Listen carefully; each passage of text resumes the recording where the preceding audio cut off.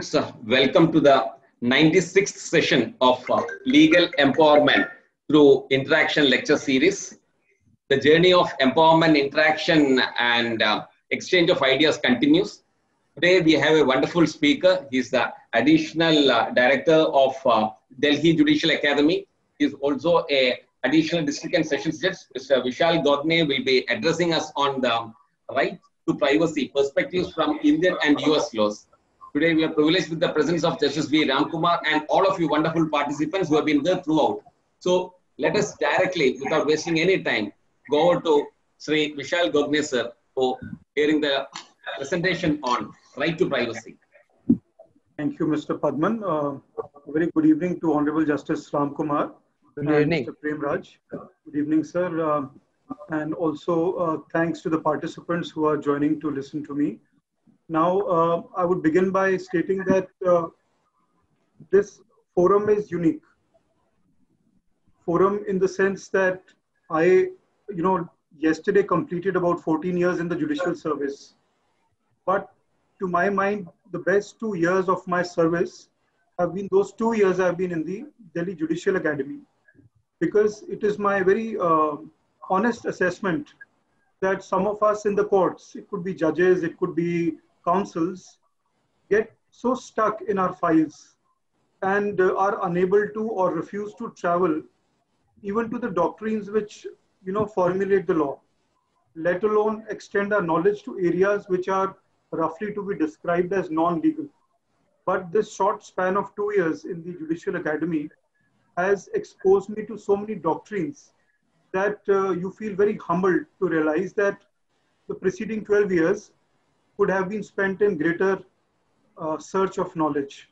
So when you have a forum where you have different stakeholders like this one, judicial education, which I think has lagged behind the education in, let's say, the services which are all India civil services. We never had a robust training program till a few decades ago. But thanks to stalwarts, uh, some of whom we were discussing earlier, earlier Professor Menon, Professor Mohan uh, Gopal, our uh, training has caught up. But it's also my observation that our training needs to catch up further. And why I'll explain that. The judicial system is not made up of judges. Certainly, it's not made up only of judges. There are very important stakeholders. Counsels are one half of it. I mean, private counsels. And then the prosecutors are another part.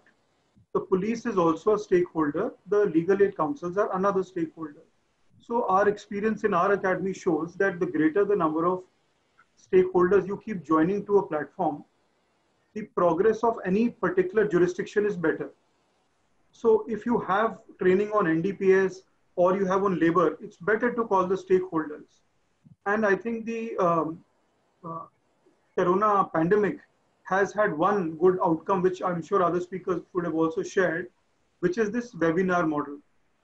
Because otherwise the constraints of travel or uh, restraint protocol and so many other issues prevent uh, even a genuine interaction or meeting of minds.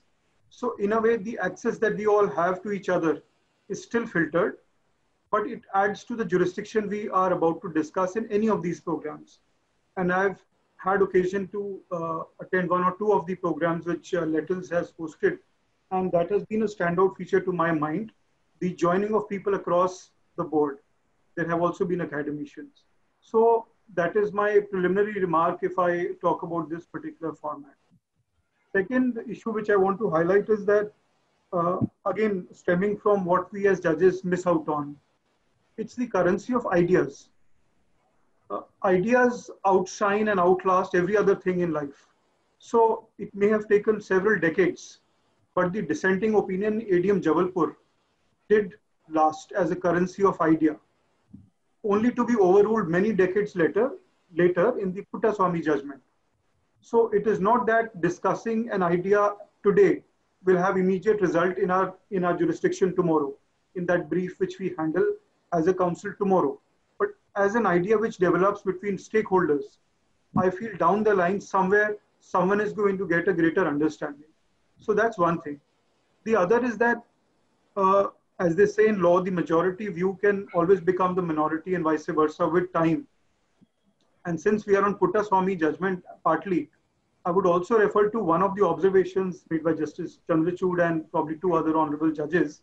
That was with regard to the Naz Foundation case, where observing regarding the previous Supreme Court judgment, which referred to the uh, LGBT community being a minuscule population, and hence the issue not having been found fit to uh, strike down the provision for that reason. This occasioned the Puttaswamy judgment and judges to comment that a majoritarian view of an issue would not affect constitutional rights. A court would give effect to a constitutional right even if it relates to a minuscule population or segment of our, uh, let's say, country or society. And this is applicable across all countries, uh, I would imagine. So in support of my opening remark that we must invest in the currency of ideas, we must look for that greater learning of one subject, which will help us to contribute to somebody else's growth maybe. Now, one of these ideas is privacy, which is uh, going to be the uh, theme for today.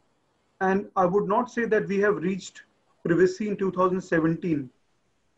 We recognized it in 2017, but it was the occurrence of various interpretations or recognitions of privacy in a plethora of Indian judgments and certainly American judgments that has brought us to where we are as far as the right to privacy goes. So it's my honest appeal and request to all of us that we must invest in an idea and develop it with our colleagues. And today that idea happens to be privacy. Now, um, my interest in this subject is partly because I have just initiated studies uh, as a PhD scholar in this area. But my understanding is nascent. nascent. However, I do recognize some doctrines and uh, almost philosophical trends which have led to the current understanding of privacy, which I propose to discuss today uh, I'm mindful that Honorable Justice Sri Krishna has addressed uh, this forum uh, on data privacy. And for that reason, and also because I would pale in comparison, I would uh, honestly avoid data privacy because I presume that would have been covered very much more. I would rather be looking at some incipient concepts which are parallel to uh, the jurisdictions in uh, the United States and also in India, and which can find easy resonance with all of us to be discussed in this uh, session. So uh, I think I'll uh, make use of the slides that I have to introduce a little subject here. So we are looking at perspectives because legal training is only partly about knowledge and skill. It's largely about getting perspectives. And it's these perspectives which allow us to overturn the judgments of lower courts and in possible, possibly good cases, also revise our own views in the appropriate jurisdiction. Therefore, I picked up the United States as an analogy to compare our Indian law, though my presentation is not uh, strictly comparative, but uh, I thought the US is a good example to talk about privacy. And uh, I'll share my thoughts on that when the United States was settled, it was from the East Coast, where the Europeans, the Englishmen, the Portuguese, the Spanish, Sorry. the Frenchmen, they arrived to the East Coast. And then they started moving westward towards the West Coast as they colonized the entire North American continent, which we now largely know as the United States of America. And in the development of US characteristics of their people, and possibly even their laws. There was a, there was a phenomenon built on a geographical boundary called the frontier. The frontier was that zone which kept expanding to the west till they reached the west coast. So the frontier came to embody certain, uh, let's say, prime characteristics of the US existence and even their rights. For instance, the frontier was a lawless zone you could capture territory, you could uh, build a boundary around it, and that was yours. But you needed guns to protect that. So the US Constitution includes the right to bear arms. The genesis is in the frontier. The frontier is the, uh, let's say, the, the area from where much of American rights would even be traced. And another of these rights is liberty, individualism. If you ask a layperson uh, the trait of an ordinary American, they would say uh, Americans are individualistic. Individualism is a sort of creation of the American philosophy. And that individualism also had its roots largely in the American frontier, where they had to fight, they had to sustain and create a country.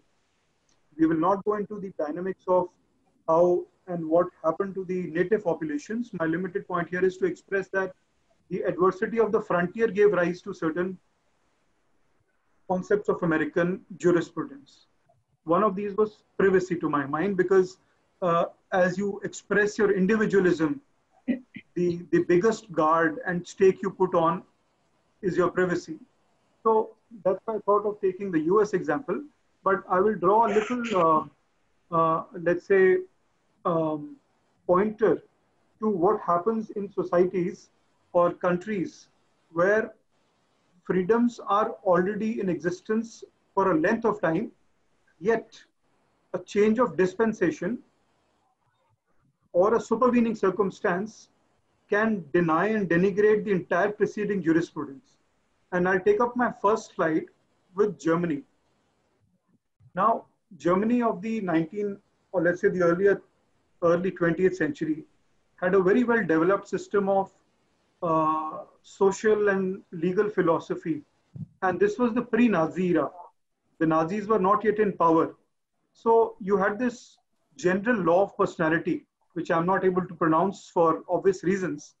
Now, this theory of law said that law must be such as to protect the individual to the fullest extent in the exercise of his faculties in every conceivable way.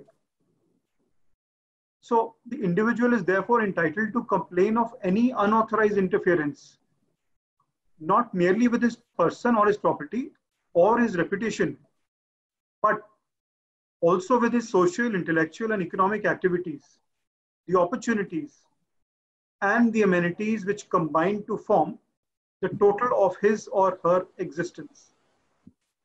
So any willful and unauthorized incursion by others into the private life. Now we are talking of the 1920s and 30s. We have reached Puttaswamy in 2017. But this jurisprudence is of the early 20th century, which is saying that a willful and unauthorized incursion by others into the private life of an, of an individual is prima facie an actionable wrong.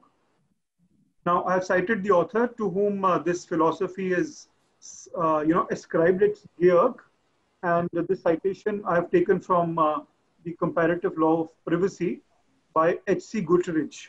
I would try to give credit and uh, uh, acknowledgement to the names and the authors whom I have cited for reasons of it being their intellectual property. Wherever there is an omission, I still say that it's not my work. So this was the German legal philosophy preceding the Nazis. They had a legal philosophy which recognized that if you intrude into my into my life, it's an actionable wrong. Of course, it has relations to tort, but the use of the word private life has apparent uh, pointers to privacy.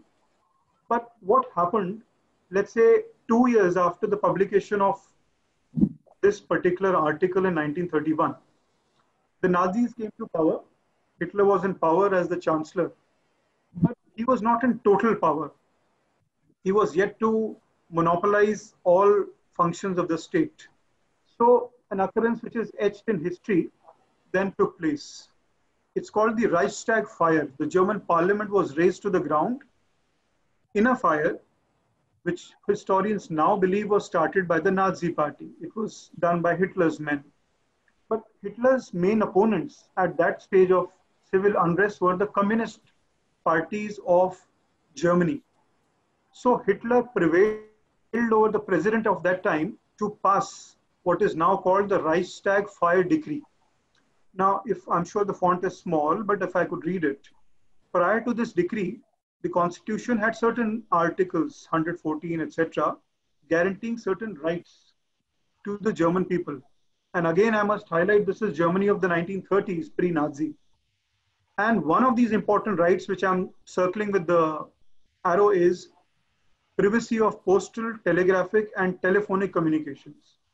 This was Germany's law of privacy in the 1930s. They had privacy of post, telegraph, and telephone.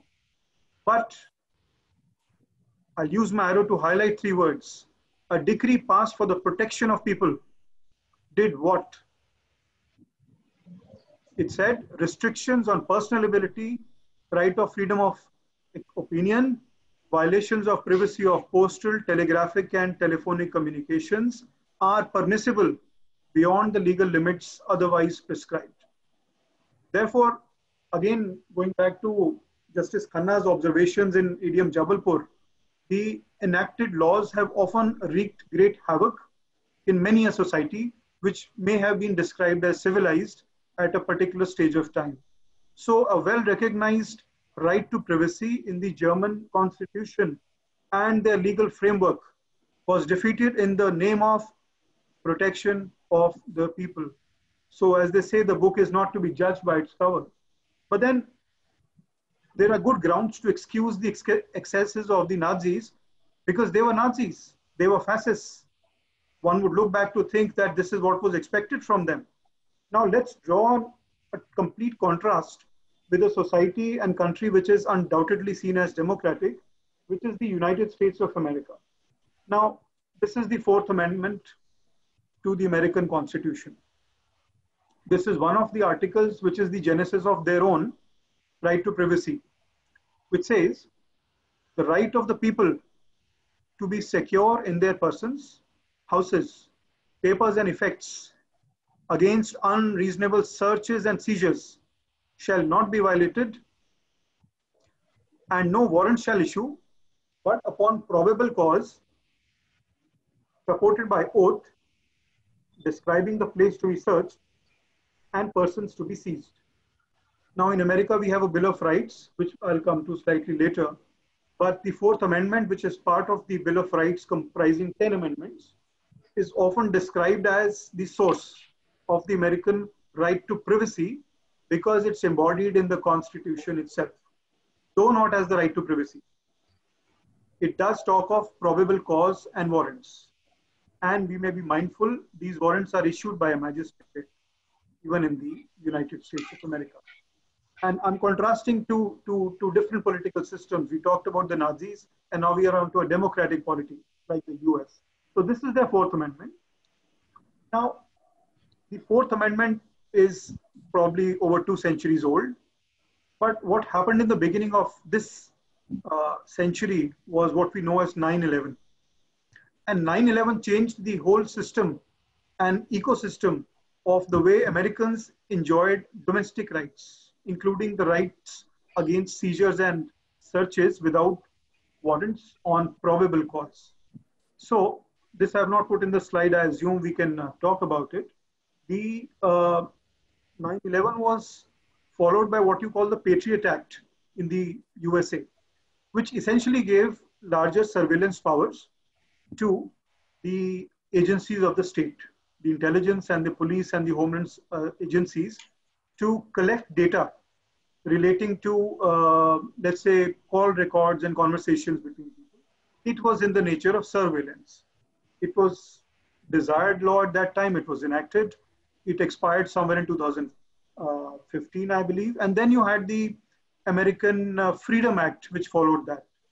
Now, the Freedom Act gave up some of the restricted, restrictive and uh, tough uh, measures adopted by the Patriot Act, but it continued with some other measures for collection of data from citizens. Yet it put some, uh, let's say, restraint on the powers of the intelligence agencies to, to eavesdrop without warrant upon the uh, personal details and call records of the citizens. Yet, I'll share a slide here. 2015, we had the Freedom Act. Now, this act codified a requirement wherein the agencies were to publicly report the statistics regarding the data collection by them, which was in the nature of surveillance, let's say. So the Department of National Intelligence, the DNI, was to report all this in annual reports. I have picked up the data from one of these reports. This was a report issued for 2016. And this is after the Congress had limited the power of the agencies to snoop on Americans because the Fourth Amendment still exists. It's never been repealed. 151 million records of American phone calls were still collected. And this is a democratic state. These were not the Nazis who were getting a decree to be passed by a rubber stamp president. Perhaps state has to perform some difficult functions. State has to look at national security. The state also has to look at the threat of terrorism and the state often also has to look at the threat of internal disturbance. So this is not a comment on the act of the state, but just a pointer to the duty of the court. Because the states will always act in their best wisdom to protect their people. But the courts will perhaps always have to act to protect the rights of people. And that is why our constitution is called a system of checks and balances, wherein all, uh, all arms of the state aim to encourage the performance of duty by the other and not to criticize the other. Um, having discussed the um,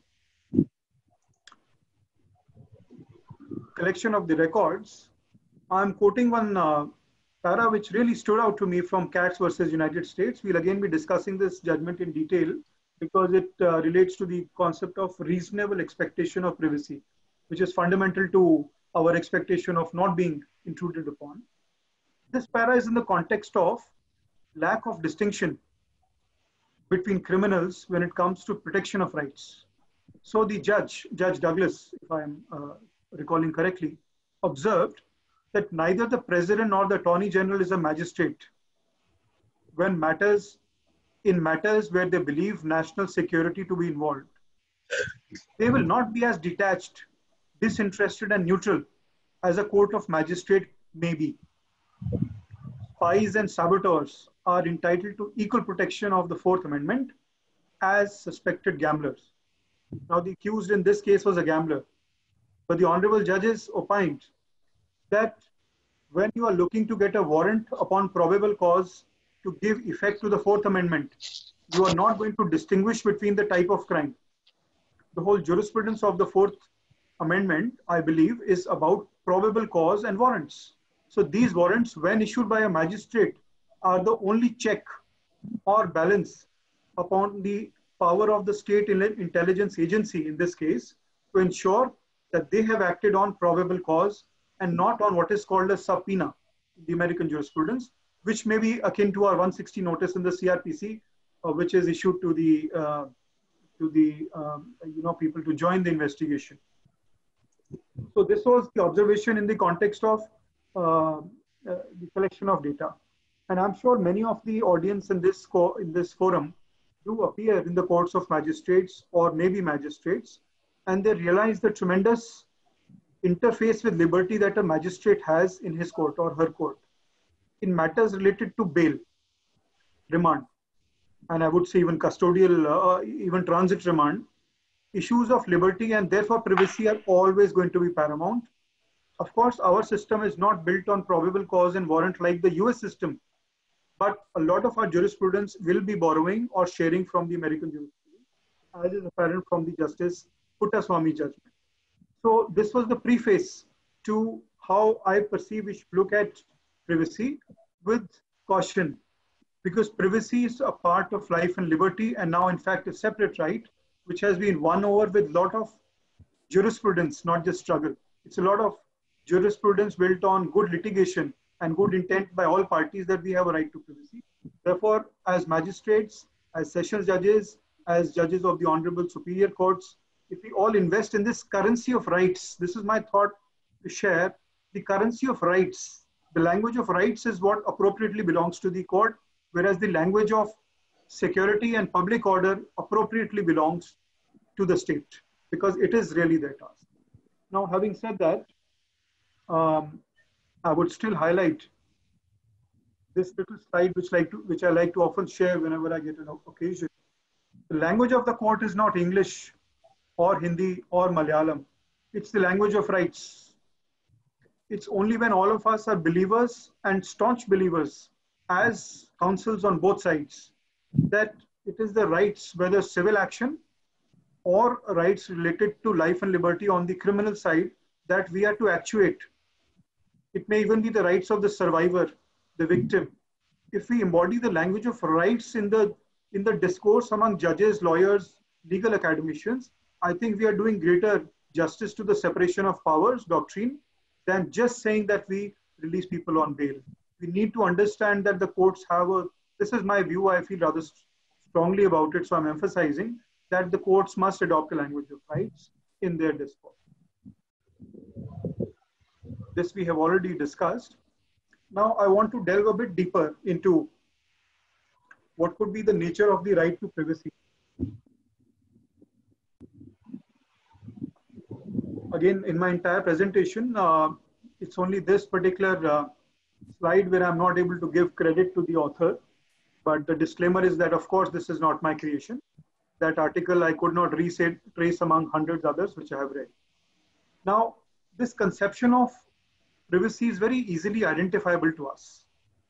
First is that it could be defined with the aid of moral rights and claims.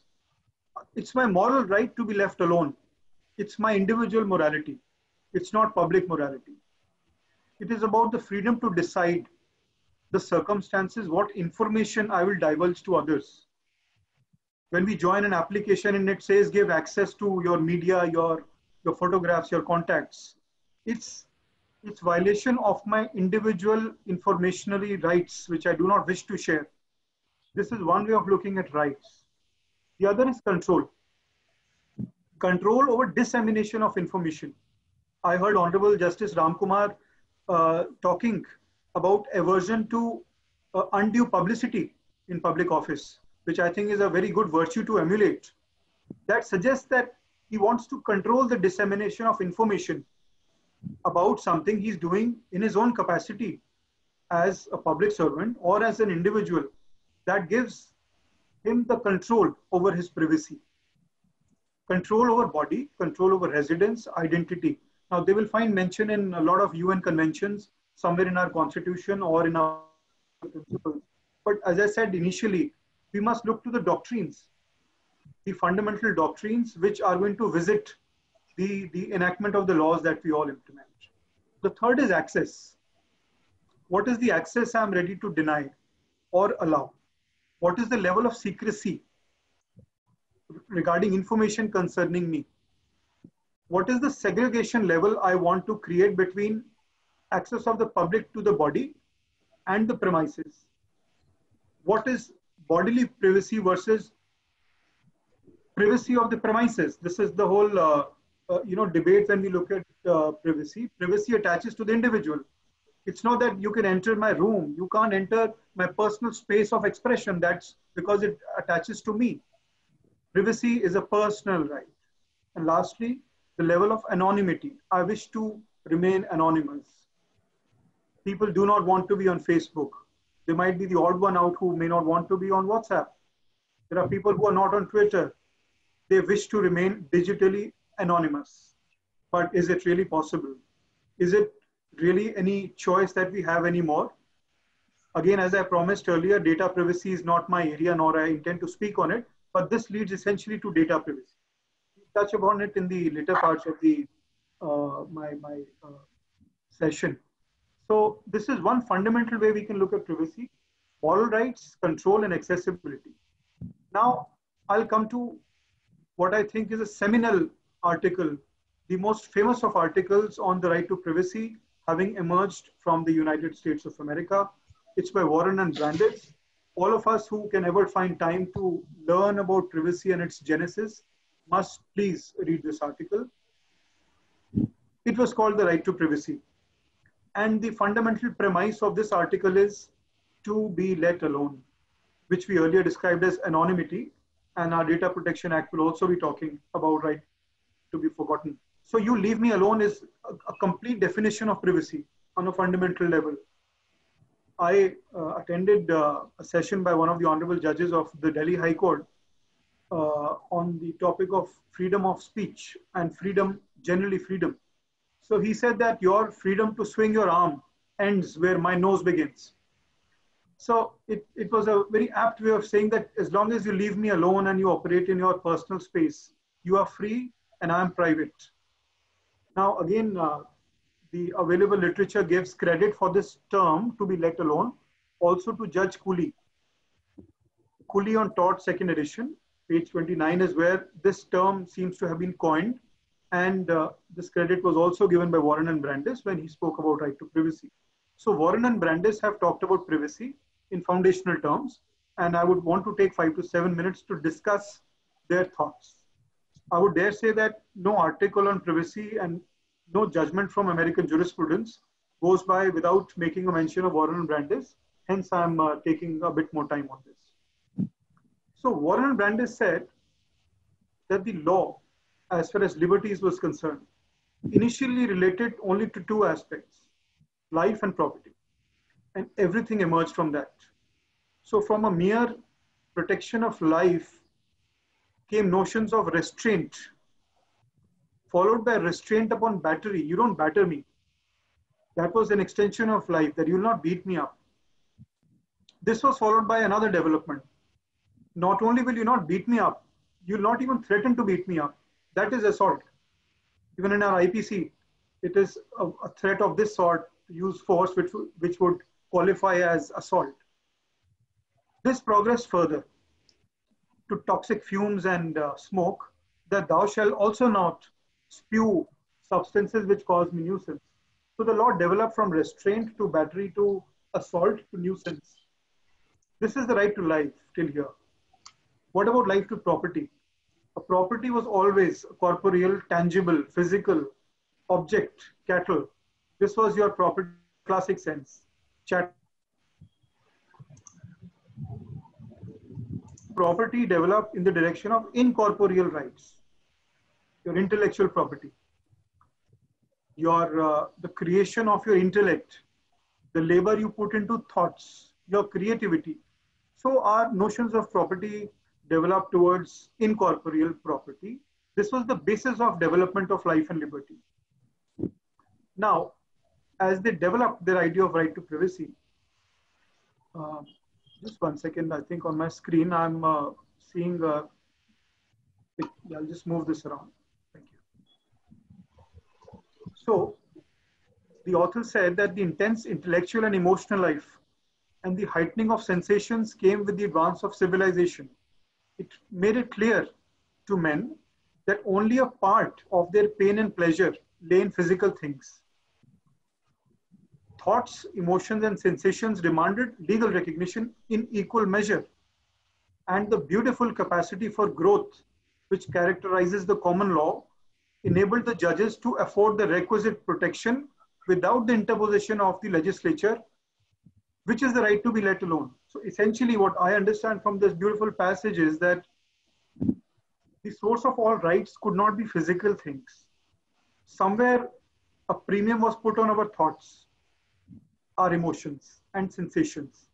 And judges were able to protect this without the interposition of a law, without an enacted law because they recognized a very critical component or right, which was the right to be let alone. This was the genesis of the doctrine of privacy in the American law. Now, Warren and Brandeis used some very good analogies to describe how this uh, distinction arose. They talked about libel. Now, they were mindful that uh, some of the rights of privacy were uh, overlapping with tortious liability of libel and slander. But they made a distinction. They said that what happens to injuries, what happens rather to damages which are without injury, damnum sine injuria, injuria. If I lower the reputation of somebody, it's a civil wrong, it's libel, it's defamation. But what if I just hurt your feelings? And that too in, on your face. There's not a third party to whom this has been published. So there is no publication, there is no libel, there is no slander. Where and how will the court protect me? Because this is a case of damage without injury. You injured my feelings, that's all. So the way they the way they theorized it was that this right lay in judicial recognition of my feelings per se. Because some of my feelings could be actionable if coupled with another wrong, but others were plain and simple, a question of violation of privacy. So damnum sine injuria was partly the genesis of how privacy arose in their estimation. The second uh, analogy they drew was manuscripts. People leave behind uh, publications, poems, people leave behind uh, you know, stories which they have written in their free time. Now that is intellectual property. You can always protect it saying it's an extension of the right to property. You would not have to uh, depend on the right to privacy for that. It's already a recognized right because it protects my intellectual property. But then they gave a good analogy. They said a man records in a letter to his son or in his diary that he did not dine with his wife on a certain day. He wants this to be kept private. No one into whose hands these papers fall could publish them to the world, even if possession of the documents had been obtained rightfully. And the prohibition not be confined to the publication of the copy itself. The restraint extends to publication of the contents. So this is a simple instruction left by father to son. I did not dine with my wife last Sunday. You will not reveal this to the world. Now, there is no measure of intellectual property in this. This is not strictly a manuscript which the law of tort or uh, of intellectual property would protect. But then what is the thing which would still prevent its publication? It's surely not the, as they say, intellectual act of recording the fact that he did not wine uh, or dine with his uh, wife, but it is the fact itself. It is the domestic occurrence. It is the privacy of the domestic occurrence it's the privacy of the marital home, which has obvious linkages to privacy, not only as an individual, but perhaps as a couple, which enabled courts in later jurisprudence to recognize and protect even these situations. Another beautiful concept ascribable to Warren and Brandeis, inviolate personality. My personality cannot be violated by you. And my personality is not the things I wear, it's my attitudes, it's my emotions, it's my thinking, it's even my sense of hurt, it's my speech. So the principle which protects personal writings and all other personal productions is in reality not the principle of private property, but that of an inviolate personality. That, that, that is the genesis of this, right? Is what Warren Brandeis said. Lastly, on this aspect, they compared it to the law of contract. So essentially they said that if a right could be protected on contractual grounds, you would not have to rely on privacy. So if a photographer takes a picture of a woman with her consent in a studio, she can restrain, restrain him. There is a contract or there is an implied contract or there is the principle of trust or entrustment, but it's relatable to contract. But then the Honorable Justice North in this judgment put a counter to the counsel asking do you dispute that if the negative likeness was taken on the sly, the person who took it might exhibit copies? Somebody has surreptitiously, secretly and privately taken the picture of the same lady. There is no contract.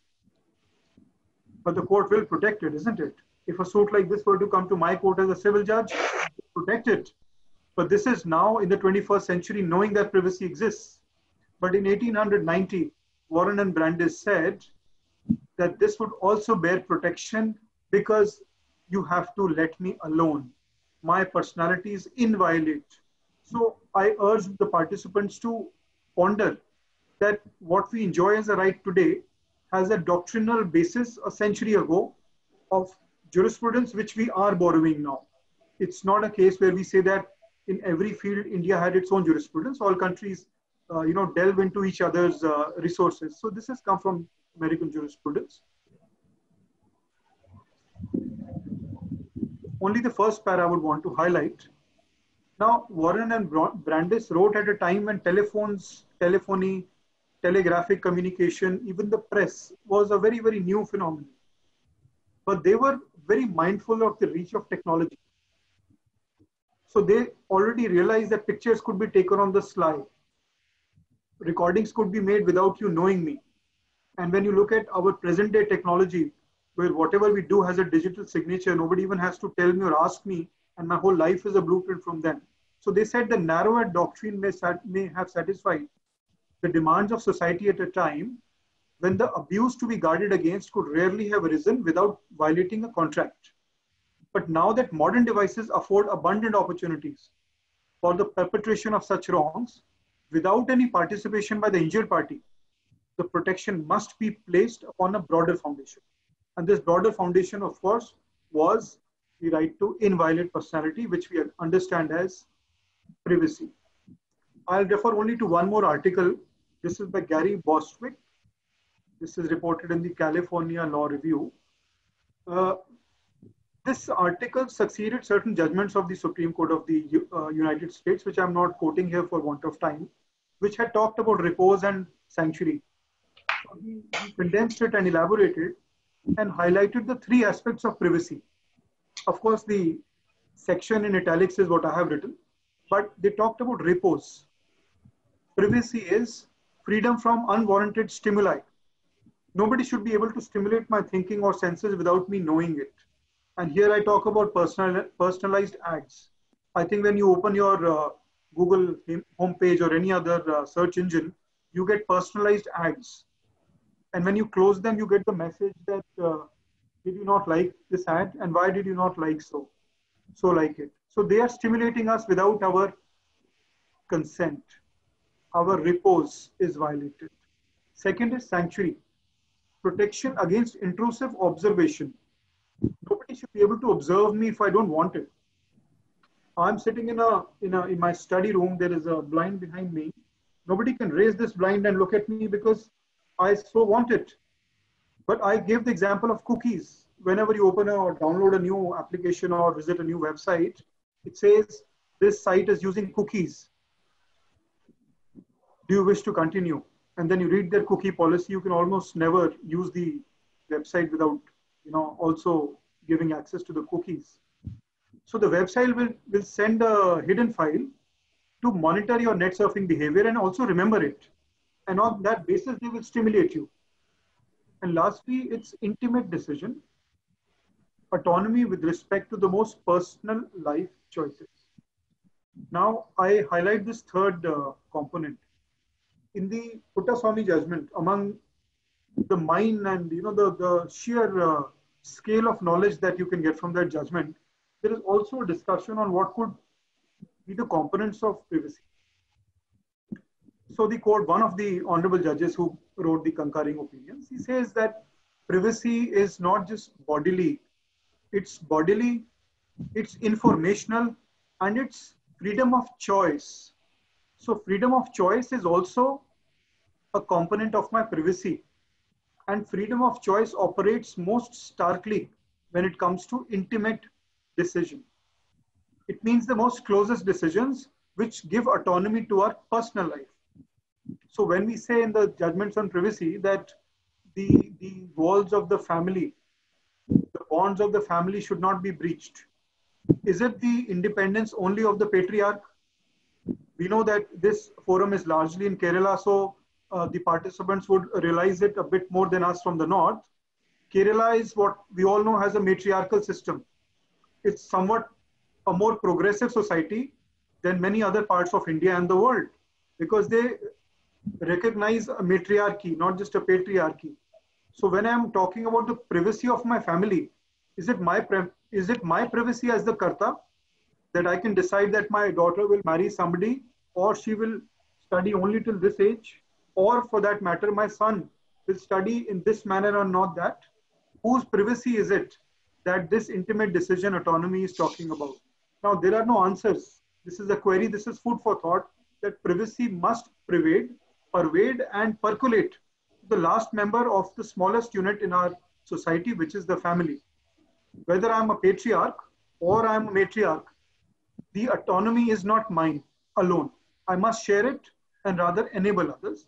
So this is a framework when seen in conjunction with the Warren and Brandeis, is a, it affords a very good uh, doctrinal basis to understanding where privacy is coming from. Now this brings us to the slightly more, uh, let's say, legislative part of today's dialogue, which is the US uh, let's say, legislative and uh, precedent context. So, as I mentioned earlier, a series of 10 amendments of the, of the US Constitution is what constitutes the US Bill of Rights. And the US judgments recognizing privacy. Now, we must bear in mind they don't have an explicit right to privacy, even like ours. The judgments have used the Bill of Rights to recognize it. So it's often one or two of these amendments or four of them which get cited in the context of privacy in the US uh, law. Now we'll refer only to four of these. The First Amendment. If somebody is a fan of uh, Hollywood movies, so they always say my First Amendment rights. Why does the protagonist say that? Because the First Amendment related to religion, freedom of speech, and press. So, so in freedom of speech and press and even religion, somewhere the right to privacy has been seen in the US judgments from the Supreme Court. The Fourth Amendment I already spoke about, which guards them against arbitrary search and seizures without a warrant upon probable cause. So warrant upon probable cause is the only ground on which you shall violate the privacy of a United States citizen. Notwithstanding all manner of legislations they have, this is the soul of their right of privacy, the Fourth Amendment. Then you come to the Fifth uh, Amendment, which talks about double jeopardy, which our constitutional and uh, uh, legislative uh, statutes also do have, law against self-incrimination and due process now, again, I would highlight that in the American context, due process is a creature of their constitution. But in our, in our context, it's a creature of the creation of the Supreme Court. So from, from the Gopalan case immediately after independence till the decades before Maneka Gandhi judgment was passed, we were on procedure established by law. The due process is, as a, is an import is an inspiration from the American Bill of Rights, American jurisprudence. And we reached there somewhere in the 1970s. Therefore, for all, uh, I would say, valid criticisms of American policy and some of their laws, these are some areas where I think the world jurisprudence is much enriched on account of uh, such legislations. The Ninth Amendment is again very important to the US context. This says that the enumeration of rights in the Constitution shall not be construed to deny or disparage others retained by the people. So the residuary rights vest with the people, we the people, as we say in India. So the construction is that if privacy was not formally stated in the Constitution, it must be a residuary right, and this lies with the people. So the Ninth Amendment is again cited to support private rights. Now I'll just refer, refer to a couple of cases on the Bill of Rights in the US Uh, Supreme Court. Now, there was a law which was in challenge in this case, Griswold versus Connecticut. This is a landmark judgment, which is the basis for later judgments.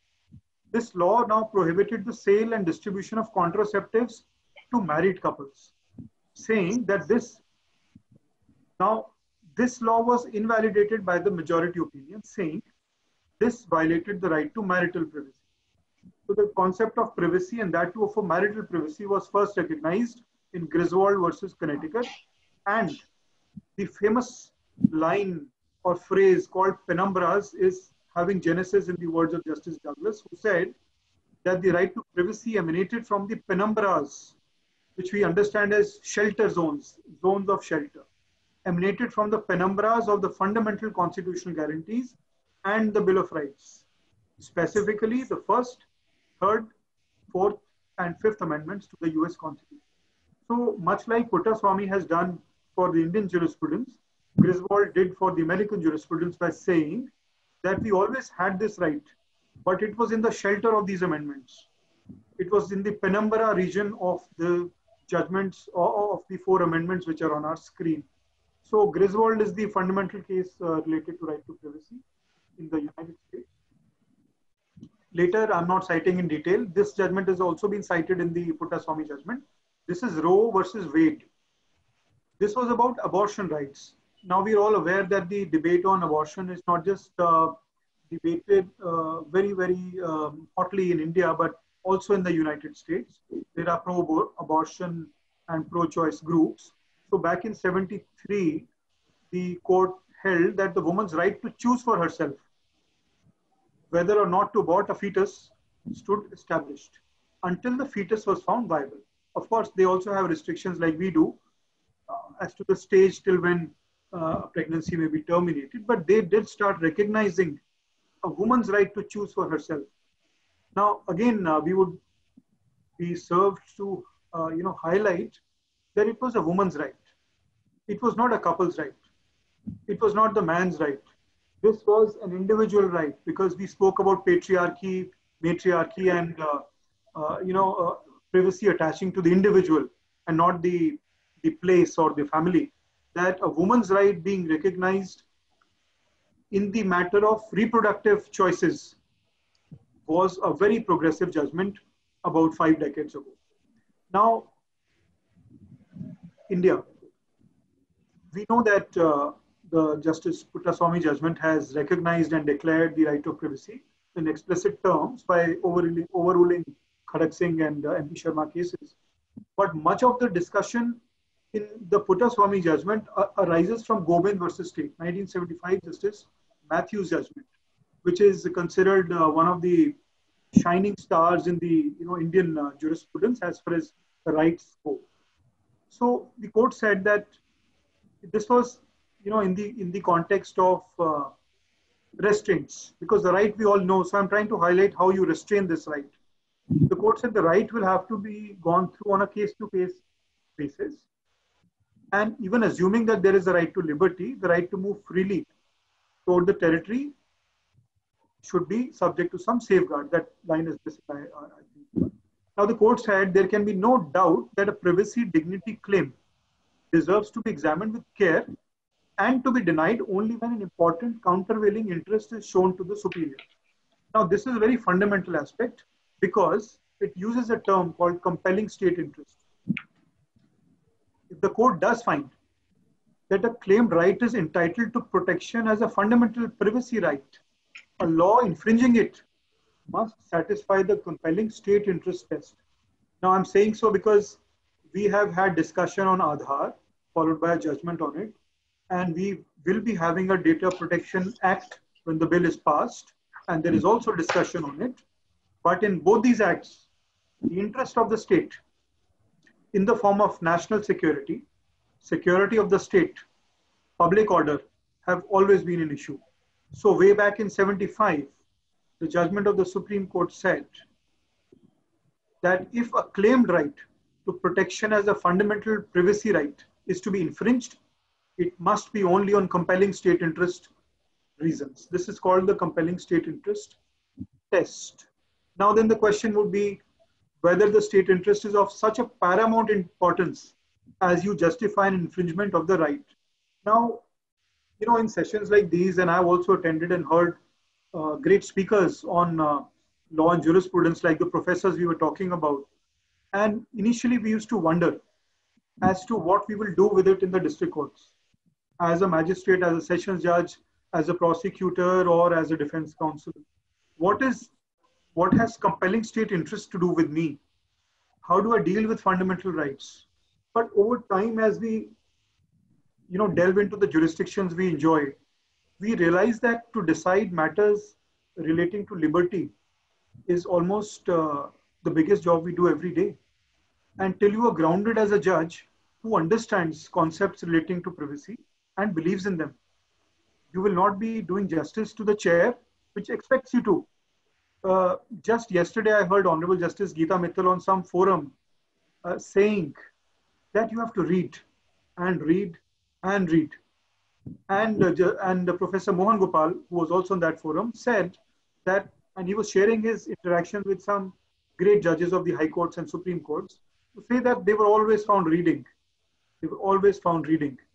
So, as a beginner in this uh, field of uh, reading and study, I, I'm feeling taking the liberty to also share that these doctrines do help us in our tasks in the court, whether as counsels or as judicial officers. Now, uh, going to the next aspect, what is state interest theory? Now, there will be many definitions, but I'm trying to go back in time to see what is the earliest understanding in uh, jurisdictions or jurisprudence which has existed in the world. Now, let's look at this uh, opinion from Chief Justice Marshall, 1819, McCulloch versus Maryland. This was in the context of federal power. That's the federal government, much like we have a central government, they have a federal government in the US. So the, the honorable judge said, let the end be legitimate. Let it be within the scope of the constitution and all means which are appropriate and which are plainly adapted to that end, which are not prohibited but consist with the letter and spirit of the constitution are constitutional.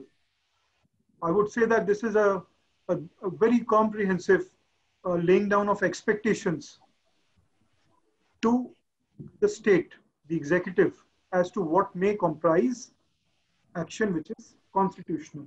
So when we are going to judge compelling state interest, which infringes, let's say, data privacy or privacy in terms of bodily privacy or informational uh, privacy, we would have to look at the ends of the legislation. We will have to look at the constitution, the means, and we, uh, I don't want to touch on the uh, Data Protection Act, but there are exemptions in it. So we'll have to look at the means by which those exemptions are granted. Is it parliamentary law? Is it executive order? Is it prohibited? So these are just templates to understand what is com compelling state interest. So the judgment that I'm talking about, the privacy judgment, does also have an indication not in these words, but on the topic.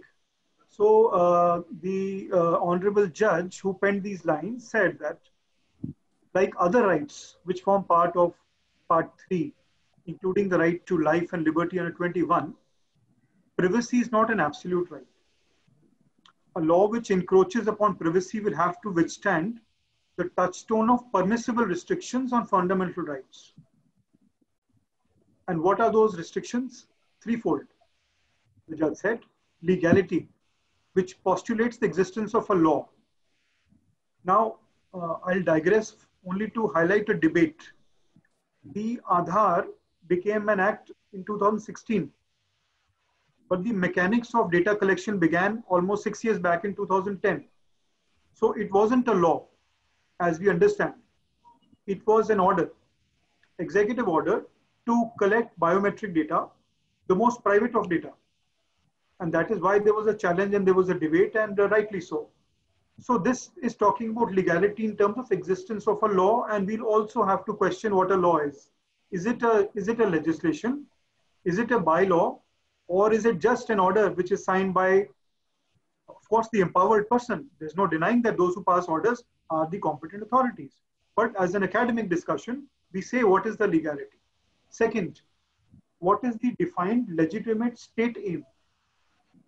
the state must aim to gain something when it tries to encroach on my privacy or, or my liberty. It must be stated. Now, no one is to challenge the state in making its assessment, but the state must at least record the aims as the objectives or aims and objectives of the legislation. I, I believe that is the indication of this para. And thirdly, which is very important, proportionality.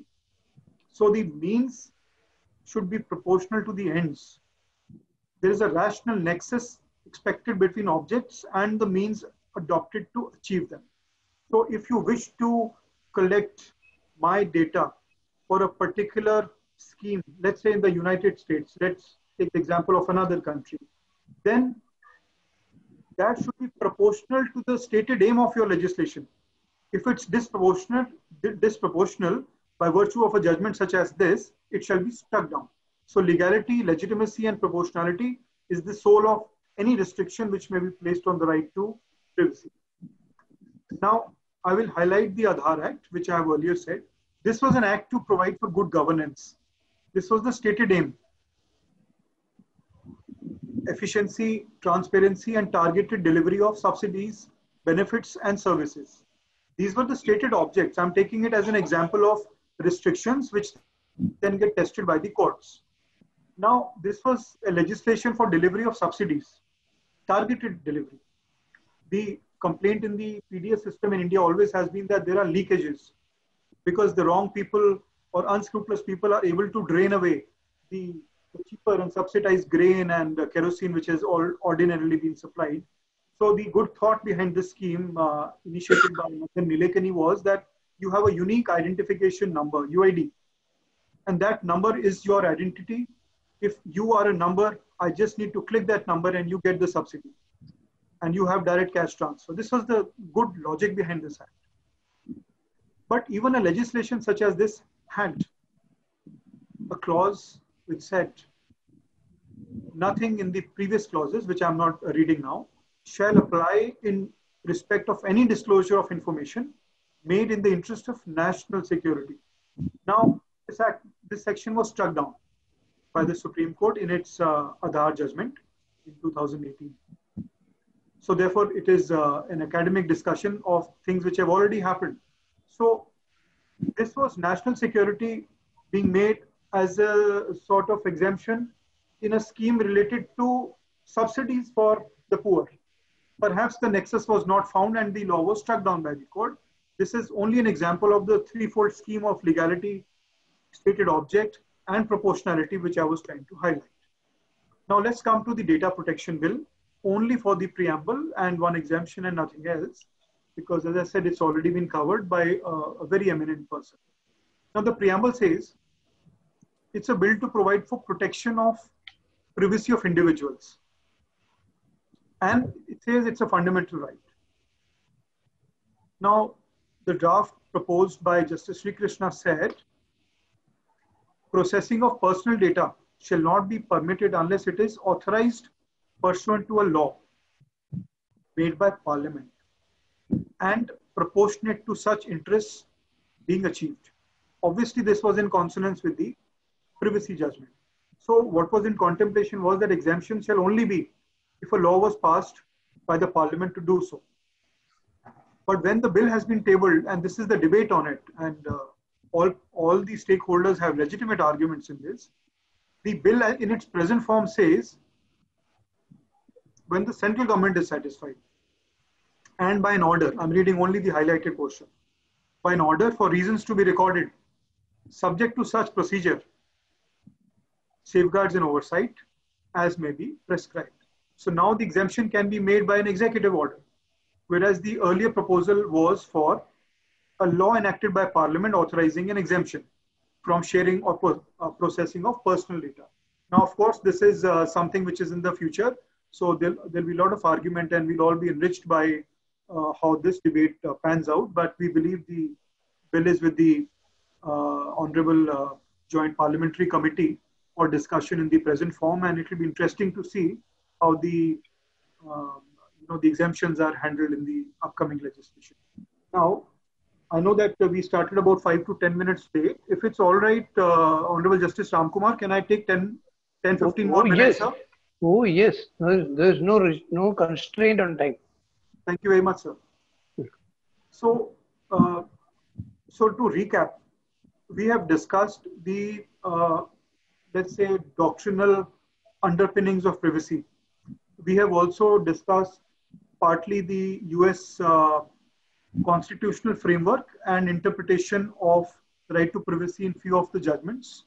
We have also done a small comparison of the Indian law, essentially from Puttaswamy and Gobind, and uh, one or two of the legislations with the US law. Now we move to a very fundamental uh, doctrine, which uh, lies at the heart of granting or violating somebody's privacy. Now, this is called the reasonable expectation of privacy rule. Now, 67, 1967 was a watershed year. Why? Because prior to 67, the dominant doctrine was trespass.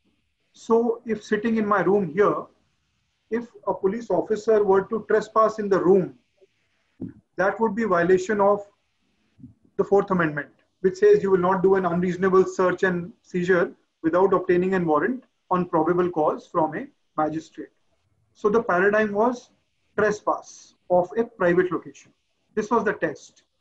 This test was overturned in the case of Katz. I will come to that in the next slide, which extended the protection of Fourth Amendment from places to people. This is very important. the privacy in the earlier context was to a place. So you could not trespass. But now the Katz judgment said no, privacy attaches to my person. And I'll explain how. This case of Katz versus United States, it overruled Olmstead versus United States. And uh, in this case, this accused, the Charles Katz, was a gambler. Now he used a public telephone booth to transmit some illegal wagers. He was on the phone in a public telephone booth. This is the 1960s. Now he didn't realize, but the FBI, the Federal Bureau of Investigation, which was investigating him, the FBI recorded his conversation using an electronic eavesdropping device, a bug. This bug was attached to the exterior of the phone booth. So the question arose, did the FBI commit trespass? The answer was no, the, the bug was on the outside. So if the previous doctrine were to be uh, continued, which talked about only trespass as violating the Fourth Amendment, then it could not have been said that the FBI violated his rights because they were outside and he was inside the booth. Now, Katz initially came to be convicted. Now he challenged his conviction, saying that these recordings were unlawfully obtained in violation of Fourth Amendment rights. Now the constitutional question was whether the Fourth Amendment protection from unreasonable searches was restricted to tangible property or did it extend to intangible areas like conversations? Now, in this, uh, you know, seminal judgment, it was held that the government's activities violated the privacy of Katz, and he justifiably had relied on it because while using the telephone booth, he was having a reasonable expectation of privacy, and that therefore this kind of search and seizure had required a warrant. And the principle which came out was that even my conversation, which is not a physical uh, quantity, the conversation is a conversation is not a space you can trespass. It's an abstract uh, quantity. So conversation was also recognized as a component of my privacy, and hence the doctrine of reasonable expectation of privacy. Now the majority opinion by Stewart said, and these are very uh, alluring lines. He said that one who occupies a telephone booth and he shuts the door behind him and pays the toll is surely entitled to assume that the words he utters will not be broadcast to the world. To read the Constitution more narrowly is to ignore the vital role that the public telephone has come to play in private communication. Now we are talking 1967, when the court said that if I shut the telephone booth, my voice cannot be taken by you as evidence because you're outside and you don't have a warrant to enter the telephone booth. Now we jump to 2020. Uh, You don't have to go to a telephone booth anymore. You don't even have to use the landline anymore. You just have a mobile phone or you have voice calls in WhatsApp, Google Duo, or you have all manner of, uh, you know, online chats. But the government doesn't or the police doesn't have to enter either. They can all be where they are and collect data. Therefore, the collection of data is still relatable to the principle laid down in this judgment. And uh, for want of time, I'll just read a very small part of it. This is called the Katz test. This has been discussed in the privacy judgment of Justice uh, Puttaswamy in great detail also. This says, this was written by Justice Harlan, who wrote the concurring judgment. He said, an enclosed telephone booth is an area like a home a person has a constitutionally protected reasonable expectation of privacy and that electronic as well as physical intrusion may constitute a violation of the fourth amendment. But then he he went further to explain how we arrive at this reasonable expectation of privacy. Is it subjective? Is it objective? Or is it a mix of it? He says my understanding of the rule that has emerged from previous decisions is that there is a twofold requirement. One, that a person has exhibited an actual expectation of privacy. And second, that the expectation be one that society is prepared to recognize as reasonable. So, because again, this was a revolutionary new and nascent law, the court perhaps felt compelled to curtail the full release of the liberty and constrained it by societal choice. So the test is I must have first expressed that this I want to be treated as private. And secondly, the society must also be prepared to recognize it as reasonable. Now, I have been saying that Indian law has, you know, borrowed gainfully a lot from American law, but where fit, we have also deviated. Now, this is a fundamental judgment, but what happened when it came to the, uh, uh, I'll come slightly later to how the Indian law has treated this uh, reasonable expectation of privacy. So this is the reasonable expectation of privacy that was laid down in Katz. What I reasonably expect to be private and society agrees. For that, you will have to take a warrant from a magistrate so that my Fourth Amendment rights are not violated. Now, we straight away jump to 2012 because Katz was followed for a long time. It has still been followed and at times not been followed. Now, in 2012, US versus Jones, somewhat similar modus operandi was adopted. A GPS tracking device was by now in uh, you know evolution and existence.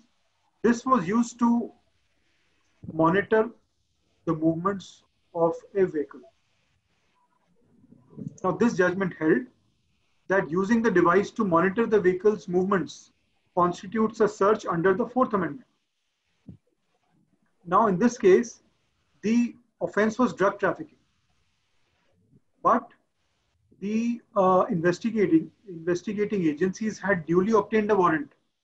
But then they exceeded the terms of this warrant in terms of geography and length of time. The warrant was for a particular geographical area and for a certain length of time, they violated that. So now the Supreme Court of the US said unanimously that this search under the, this was a search under the Fourth Amendment. Although they were split on the grounds Uh, why they said it was a violation, but they said this was also a search under the Fourth Amendment and it had required a warrant which was not taken and rather had been executed. Now, I'm just going to reproduce what the Justice Antonin Scalia of the US Supreme Court said. He said that the vast majority of search and seizure law has shifted away from the approach founded on property rights and towards an expectation based on a person's uh, expectation of privacy. However, he also said that the trespass right had not entirely been forsaken and uh, the Fourth Amendment should provide at least the minimum level of protection which trespass uh, afforded. Now we go to another case. This is US versus Graham. This is Uh, a doctrine allied to the reasonable expectation of privacy. This is called the third party disclosure doctrine. In simple words, the doctrine says that if I have given my information voluntarily to a third party, I cannot later take the defense of privacy because I have already disclosed it. It could be a bank, it could be a, a you know computer application, it could be a website. Once I have voluntarily disclosed something, it's deemed to have been waived. Now, in US versus Graham, 2012, the court said the information voluntarily disclosed to a third party. This is a very interesting case. Ceases to enjoy Fourth Amendment protection because that information no longer belongs to the consumer, but rather to the telecommunication company. And the historical cell site data is then not subject to privacy protections by the Fourth Amendment. Standard of probable cause, rather to the Stored Communications Act. So they said you will no longer need a warrant under the Fourth Act. Simply the legislation called the Stored Communications Act will, suffice. Why I'm highlighting this judgment is this. We have a right to privacy, but it is yet to be tested. As the court was also clear, they have laid out a right in 2017, but it's a very, very uh, recent legislation. None of the enactments have yet been fully challenged or tested against it.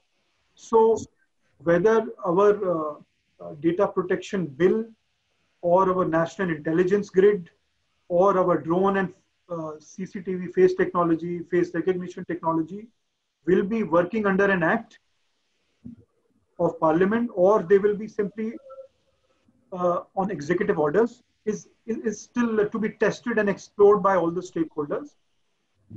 Now, I did go to uh, the Graham case, which is recent and which uh, sort of talks against the third party doctrine. But this is the fundamental case related to third party disclosure of 1976, which is US versus Miller. So, like the Katz case related to reasonable expectation of privacy, the Miller case relates to uh, the uh, sharing of information with third party. Now, in this case, the government issued a subpoena, which is just an order. There's no warrant. The government agency simply did it. Issued a subpoena for copies of the defendant's checks and deposit slips from the bank. Now, the defendant Miller, he said that he had disclosed these bank records only for the bank's use, and he retained his reasonable expectation of privacy. And mind you, in 1976, this test was already there because in 67, Katz had laid down this test. So he said he had retained his expectation of privacy. But the court did not mechanically reject his claims by simply saying this is third party record, so you are entitled to privacy. Rather, the court examined the nature of the document to determine whether Miller could have reasonably expected privacy. So, the aspect to be highlighted is it's not simply third party. The nature of the information will have a bearing on a case to case basis whether the information is to be released or protected. Now, in the court's analysis, the nature mattered. The court found it significant that the documents were not sensitive and they had not been shared with the intent that they remain private. They were bank documents. Rather, they were commercial instruments, which any employee of the bank could have seen. That, rather than the third party nature, was why Miller could not legitimately expect privacy So the court tested the nature of the documents to decide third party. Now we come to another important case. This is Smith versus Maryland. In this case, the court established the third party doctrine as a per se rule. No need to look at the nature of the information. Third party doctrine per se will prevent disclosure of my information, which I have disclosed to a third party, simply because it's a third party per se doctrine. So uh, this was the view in, in Smith versus Maryland. Now, what happened very recently in Carpenter versus US 2018? And I say this because these these judgments are coming after our own Puttaswamy judgment, and we are not having too much case law on privacy beyond that. Now, in this, the court was seized with the privacy of historical cell phone records. So the investigating agency had done an inquiry of historical records, not just occasioned by particular crime, because the US uh, investigating agencies have a culture of long investigation. They, uh, they do elaborate traps and they run very long surveillance measures as is available in public domain. And therefore, they did a historical cell phone uh, record checking. Now, in this case, the court held by a majority 5 to 4 that the government violated the Fourth Amendment by accessing the historical records containing the physical locations of cell phones without a search warrant.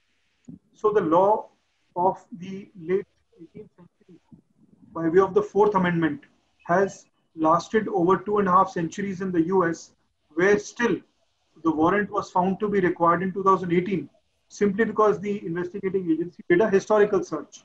There might have been uh, cases uh, which I'm not citing here where, for reasons of immediate, let's say, uh, danger, uh, terrorist attack, or maybe national security, an exemption could be made. But a historical uh, uh, sort of scrutiny would indicate that you had time for a warrant, but you did not take it. So this is Carpenter versus United States. Perhaps only a few more slides, after which I will uh, end my part of the session.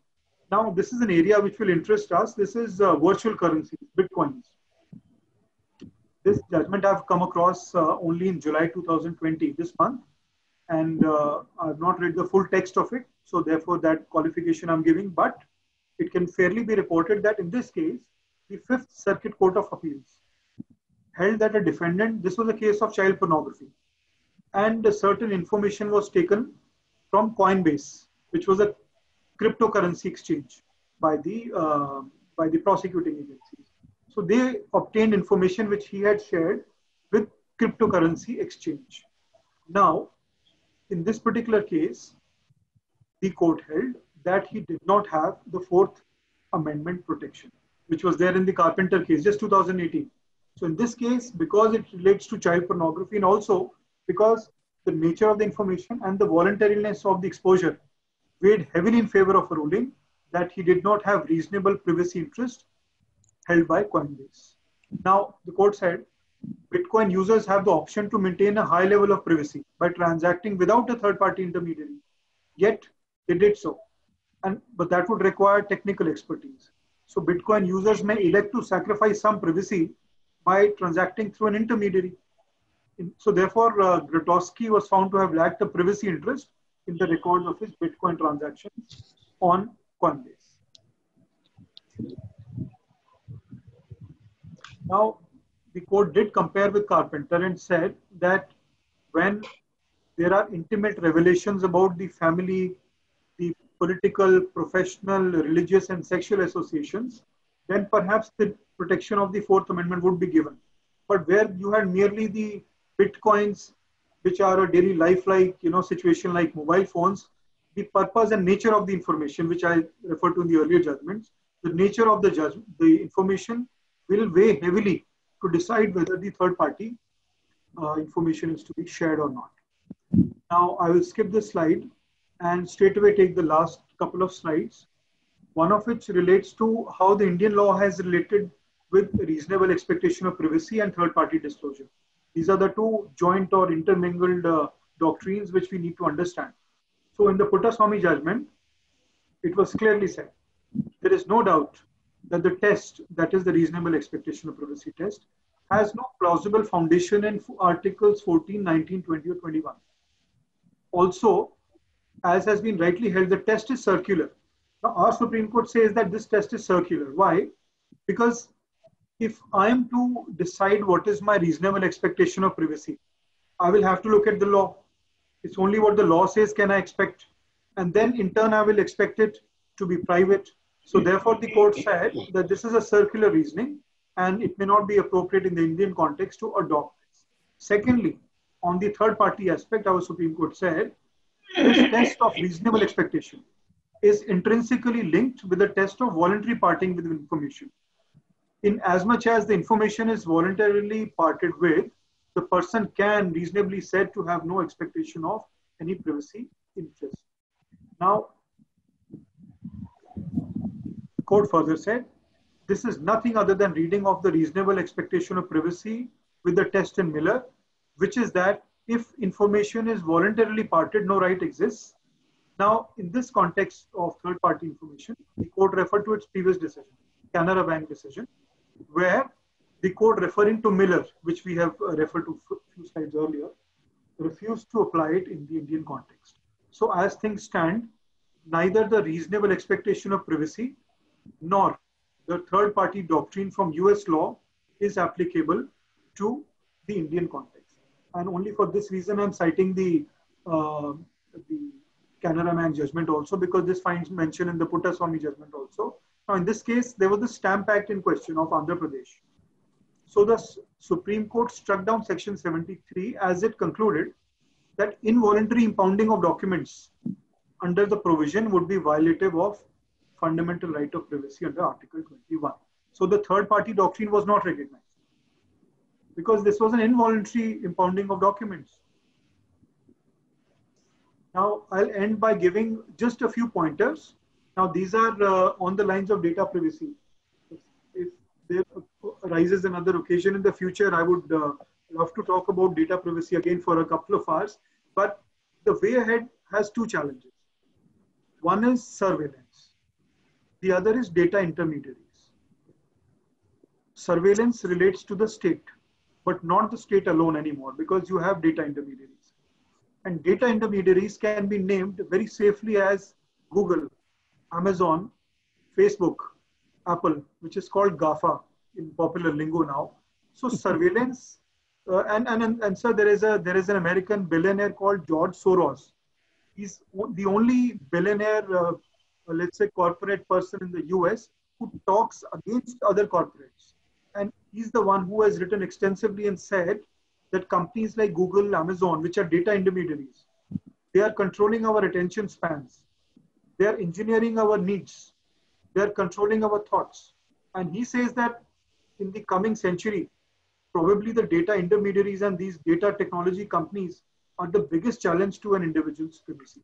So surveillance, I say why.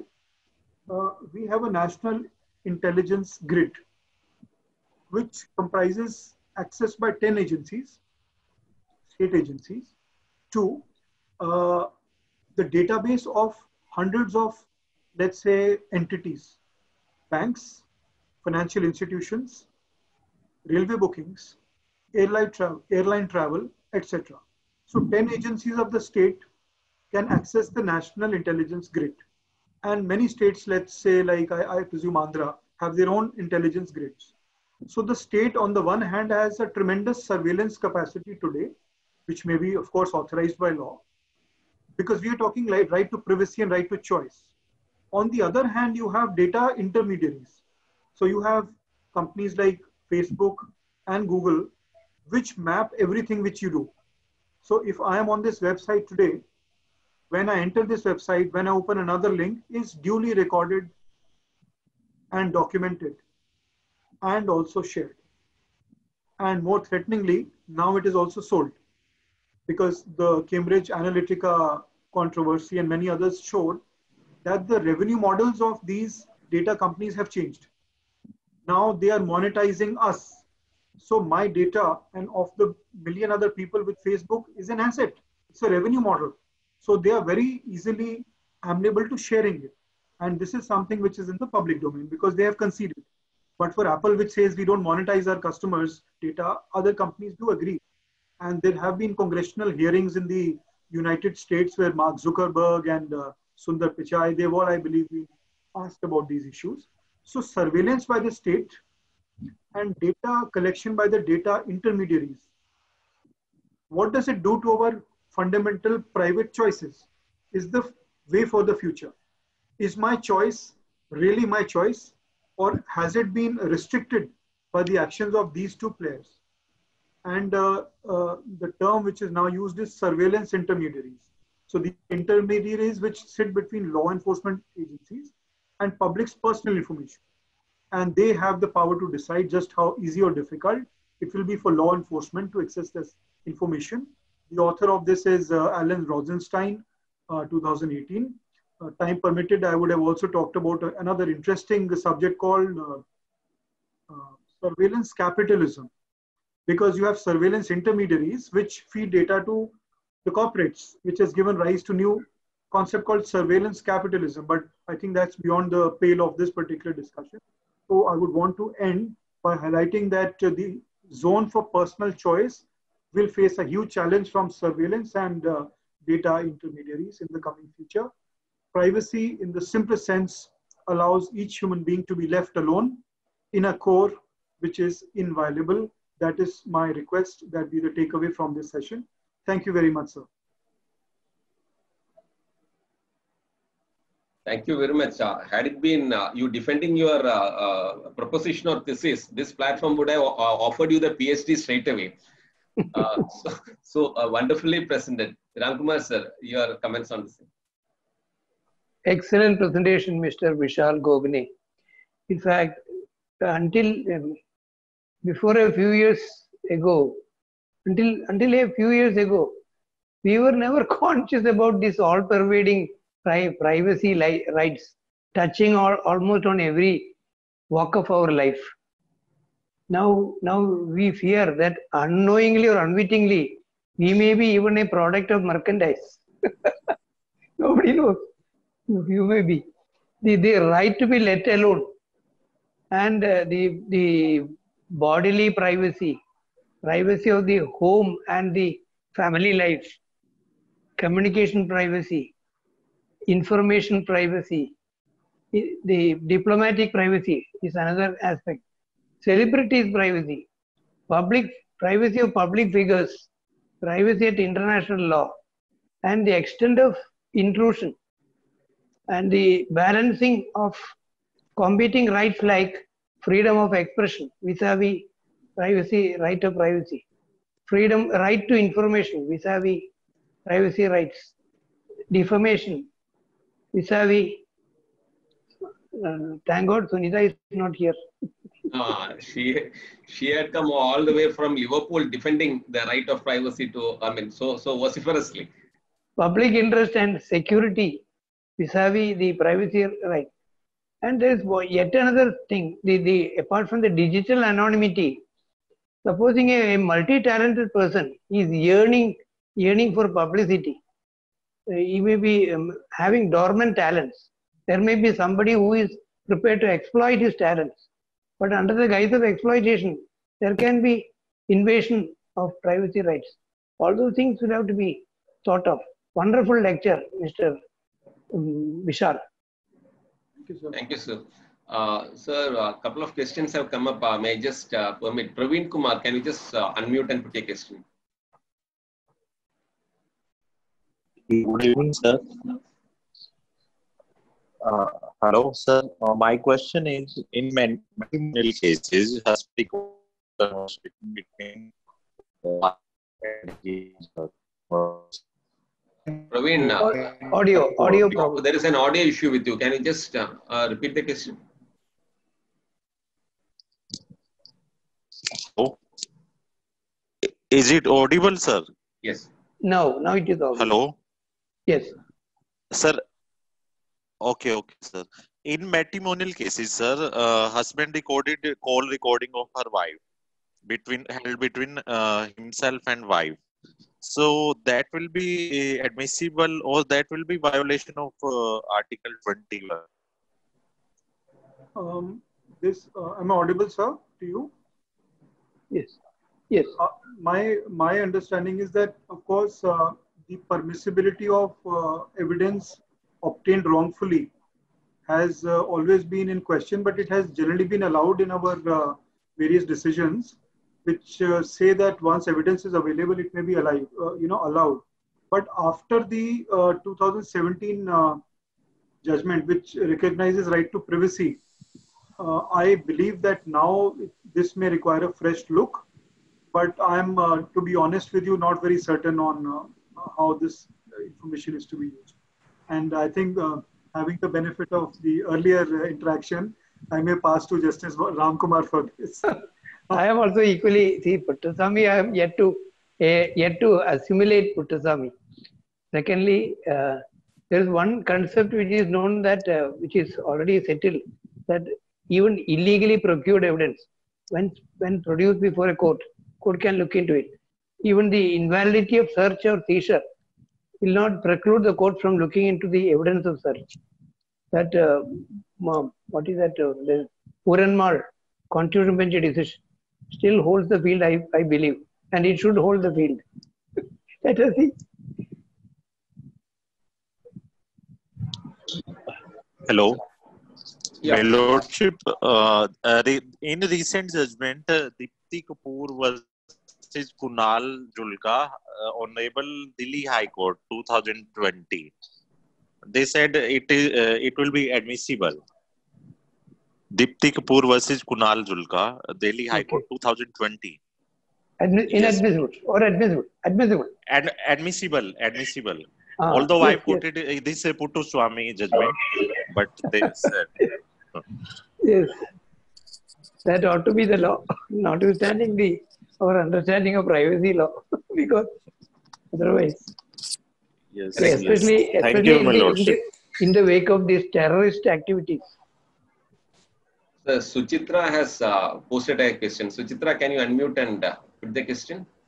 Yes, sir. Good evening, sir. Actually, I wanted to know what what can stop a magistrate from issuing a warrant for search where it is intruding the privacy of a person. Means, like, why would uh, a magistrate not issue a warrant, search warrant, when it is required by the state? Like, why should there be a case where a warrant is not issued and we have to carry the search without a warrant? I mean, every case, I, why we cannot issue a warrant when it is required? Vishal. uh, when the uh, specific applications are moved before magistrates uh, regarding, uh, you know, uh, similar to somewhat similar to habeas corpus in the, under the CRPC, where person is missing those kinds of warrants are always issued by the magistrate. There's hardly a case where they would be not issued. But in other investigations, the police does not even seek a warrant. They can uh, subject to they don't they are not required to subject to normal rules of entry, uh, the privacy of ladies, the rules related to sunset, the rules related to forcible entry. Uh, they are not required, I believe, to take a warrant. But when it comes to the security of state, like why should we not? When uh, that's the point. You know, Not only security of state, there may be several reasons where we should.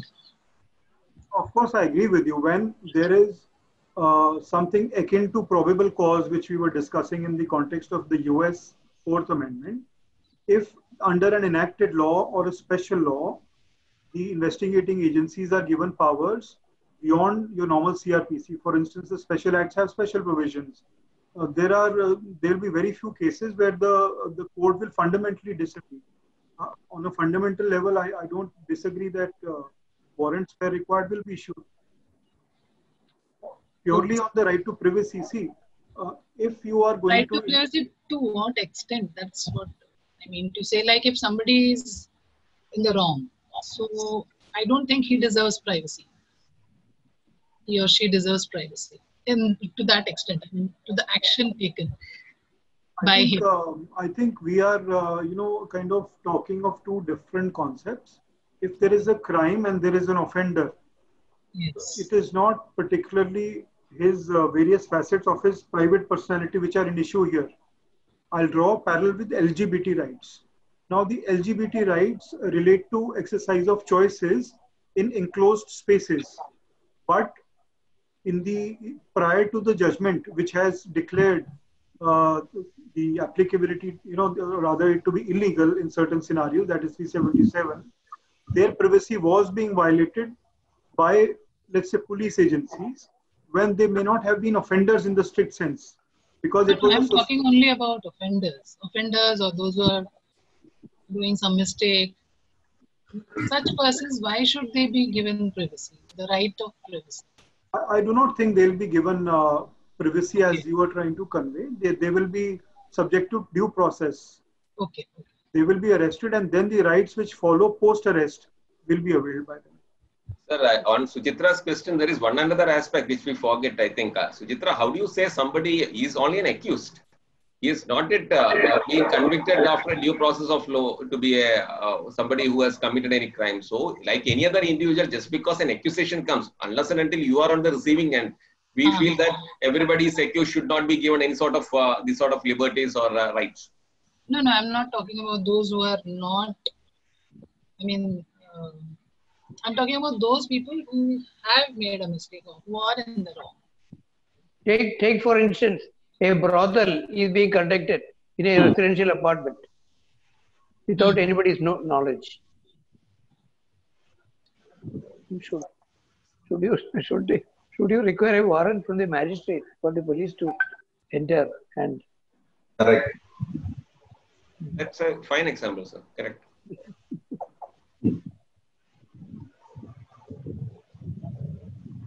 and uh, even if you even if you by st- by a legislation impose a, a, a right of a sort of uh, duty to get a warrant in our country there will be a, there will be any magistrate there will be magistrates and magistrates who will be willing to give warrant for whatever be the purpose Correct.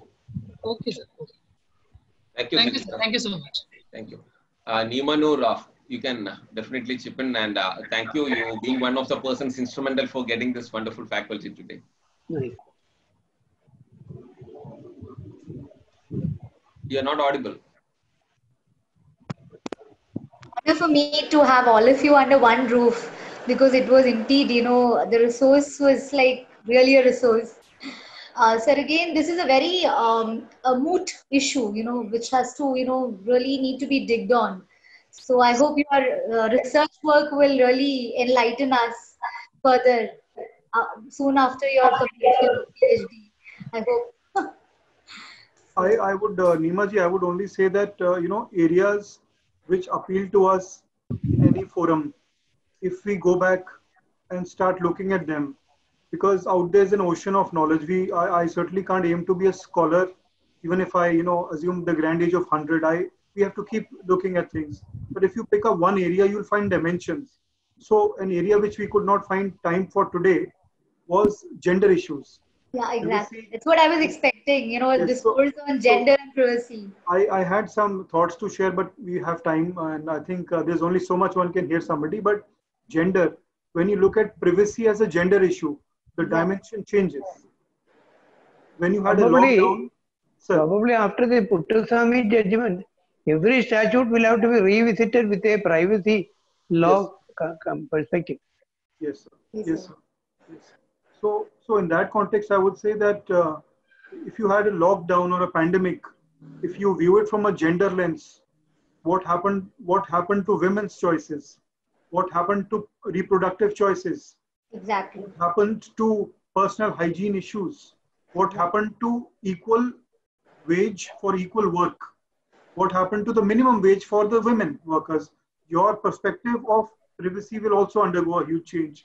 So this is left to our own faculties to pick up something which appeals to us and just read up a bit more and discuss a bit more. But I am really grateful to uh, Honorable Justice Ramkumar and uh, Shyamji and Premrajji and also to you, Nima, uh, for uh, giving this option. Uh, I think the judicial academies, we are uh, all doing tremendous work. I have not had the occasion to visit or speak in the Kerala Judicial Academy, but all the judicial academies nowadays talk a lot. The stakeholders keep increasing. Prosecutors, uh, you know, uh, even the uh, Police, even officers, police, police officers. police Police officers, KJB, uh, you know, even the probation officers, the jail superintendents. So we call all kind of people. So I'm very thankful to you all for uh, giving me this opportunity. And uh, In, in, in the equity jurisdiction, there is a silver line for this COVID. Equity jurisdiction, you will always say, a person who comes to court with a clean hand, he alone will get justice, equity. yes, sir. Now, Yes. uh, now we all our hands are clean because of sanitization. Yes, sir. You're all coming with clean hands, so that is certainly there. Sir, we have K. Shankara with a question. So over to you. Uh, sir, good evening, sir. Just now, uh, gentleman already asked that question, right of privacy in matrimonial uh, record of wife. Thanks, sir. Okay, we have Raj raising the hand. Raj, can you please unmute and ask the question?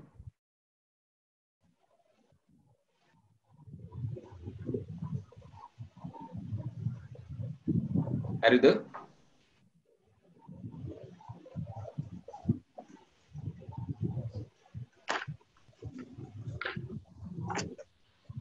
Anurag Dwivedi.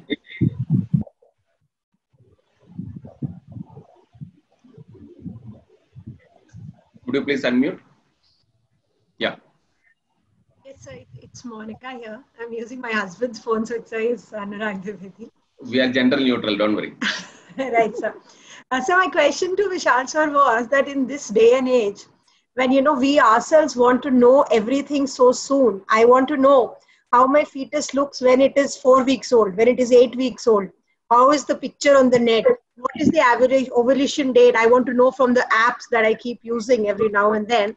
And then when it you know comes to bite me in the back, I say my privacy is being uh, violated. You know, how do you know so much about me? I am the one giving all the information to all these apps, whether I go shopping or I book a flight, all of it, and they do take my consent. So I don't know how can I then turn around and say that the state is taking away my right to privacy? Is it not being a little unfair on my part to say so?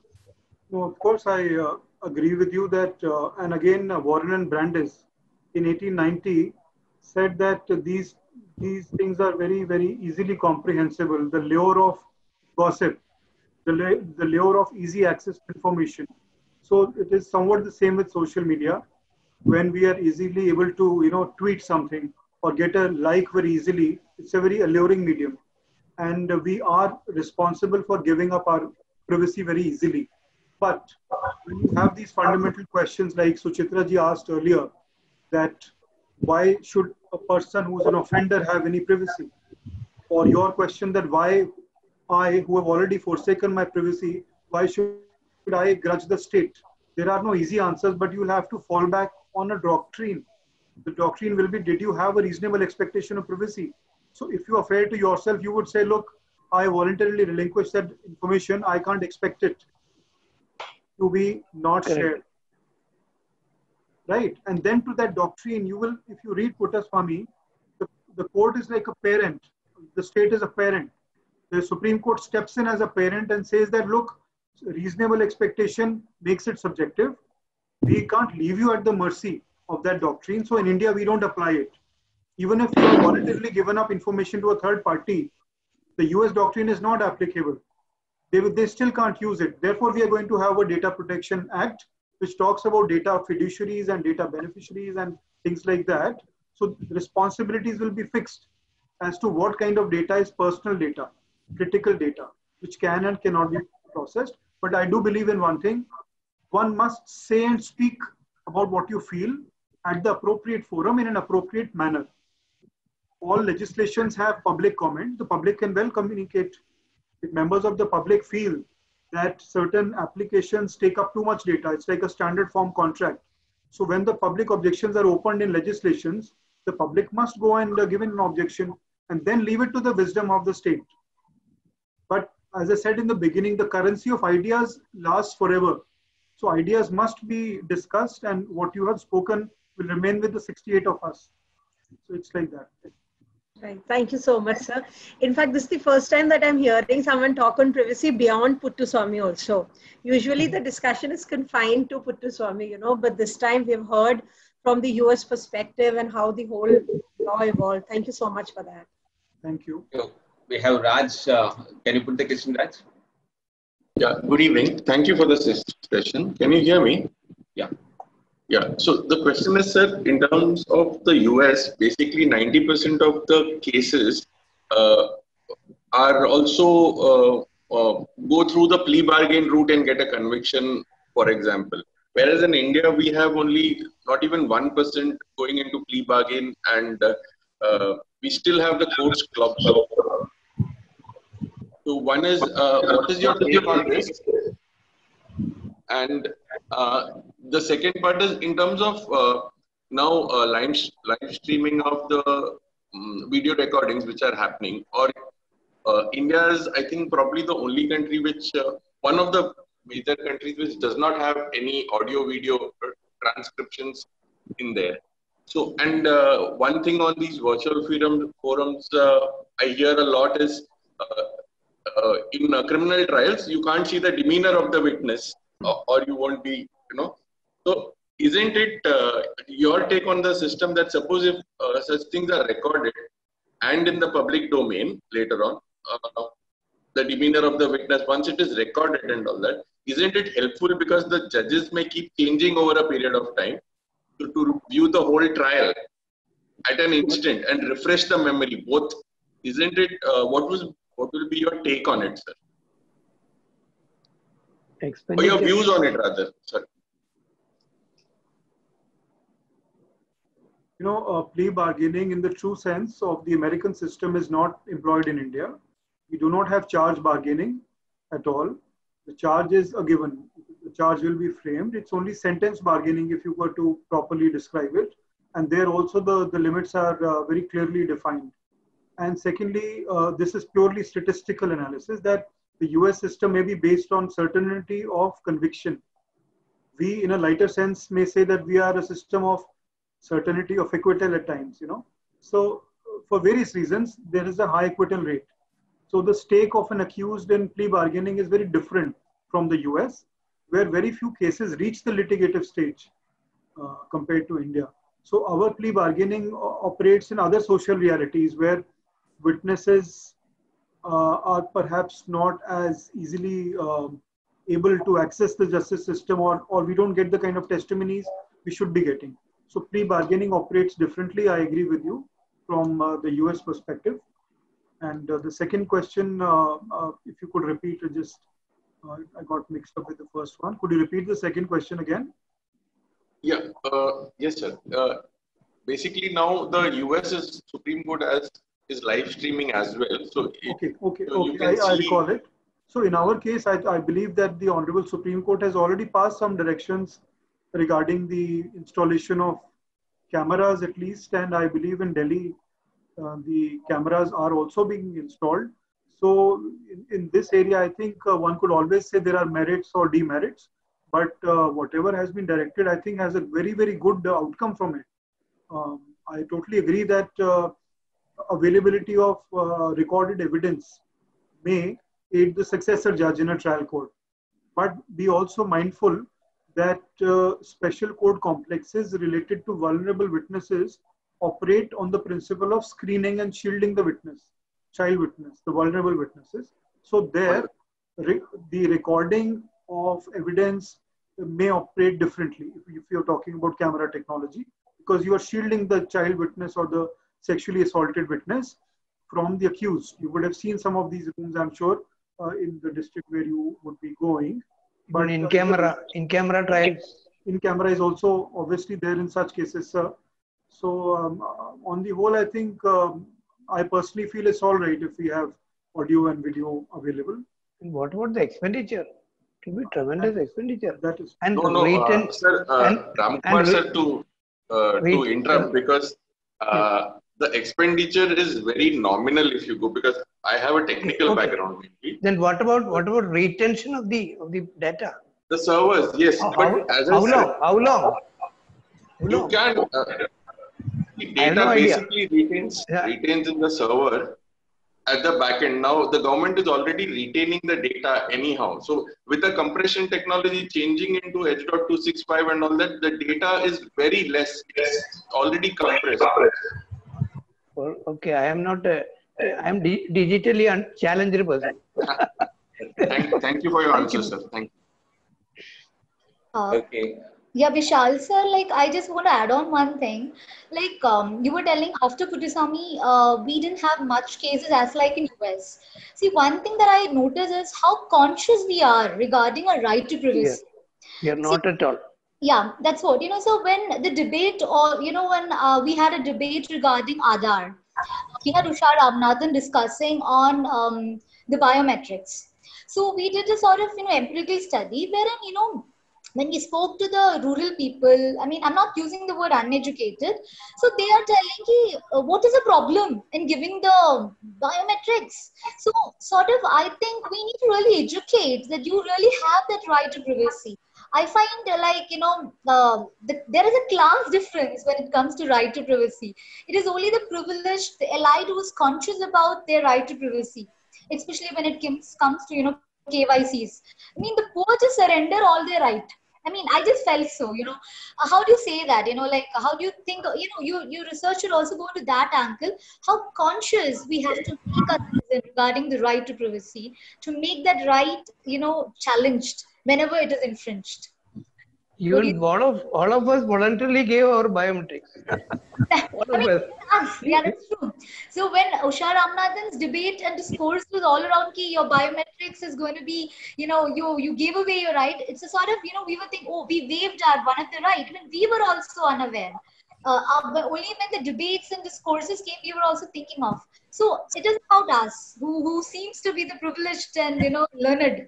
But what about you know how do you take it? You know when it comes common to right man, privacy. Common man, common illiterate common man. Yeah, exactly. How do you educate regarding right privacy? The rustic villager. Exactly. What will he do? That's a challenge that we'll have to make that right not so that's one of the take I feel like, you know, there is a class difference also when it comes to right to privacy. No, uh, Nimaji, the thing is that uh, the debate that uh, is an issue is can civil and political rights be forsaken for the gain of some social and economic privilege? So it has been a very patronizing argument over history that why do poor need rights? What they need is roti kapra and makan. That's a, that is the class angle to the argument and the poor man who's anyways devoid of education is not educated enough to even know his rights. Therefore, for him, the lowest denominator unfortunately becomes the roti kapra and makan. And then sure, even we were not. Even we were not. we were, yes, so, leave alone the leave alone the illiterate poor people. Even we were not. So, so legal literacy in part also is that wherever we uh, operate, we empower those around us to spread that. If you are a prosecutor, you engage with so many courts, other prosecutors, you deal with with the investigating officers, the probation officers. You have an ecosystem supporting you. If that ecosystem can be legally empowered, that's your job done, I think, in some measure. Thank you. Thank you. Thank you, Nima, for that input. And on to you, Prem. We had a retired judge who was subjected to sting operation by Hmm. media, by a media, Hmm, ste- stealing conversation without his knowledge. He was told that it is being, it is not being photographed, it is not being recorded, but they were actually recording it. Yeah, Prem. Well, sir, it was a wonderful talk. Uh, we enjoyed a lot. Uh, but, sir, let me just ask you one thing. Of course, you dealt about that uh, Fourth Amendment to the US Constitution. And you were showing about that uh, Warren and Brandeis in that slide. Actually, that Fourth Amendment that comes from uh, Justice Louis Brandeis' dissenting judgment in Olmstead versus United States, which is the 1928 judgment, and which was uh, the basic reason why the Fourth Amendment comes. It pertained to some wiretapping, which was later on declared as unconstitutional, while that uh, Katz versus United States in 1967. And as you are right, that there is another article also, right during 1890 in the Harvard Law Review, which uh, which has been, I think, it has been dealt with in the uh, privacy judgment of 2017. And uh, may I just ask you one thing, uh, because uh, I just was got booted amidst, and uh, when I re-entered, what exactly was that matrimonial issue which was raised, with regard to this uh, right to privacy, Shamata? Because I did not hear that particular thing. What exactly was the matrimonial issue which was? So, Uh, it was regarding in those issues, those information gathered. To what extent? Okay, because I was having another question. Uh, so, of course, uh, on a glance of the uh, judgment of the right to privacy, of course, fairly a very resounding victory for privacy, no doubt about that. And uh, you can see there are six judicial opinions. Out of the nine judges, six separate judgments are there. Justice Chandrachud writing a judgment, Justice Nariman Chelameswar, Justice Kaul, uh, it was Justice Sapre and Bobde, if I, if I am not mistaken. Now, sir, let me just ask you one thing. Now, before everything, don't you think that the right to privacy judgment is it not a case of somewhat a judicial overreach? I would tell you why I would say like that.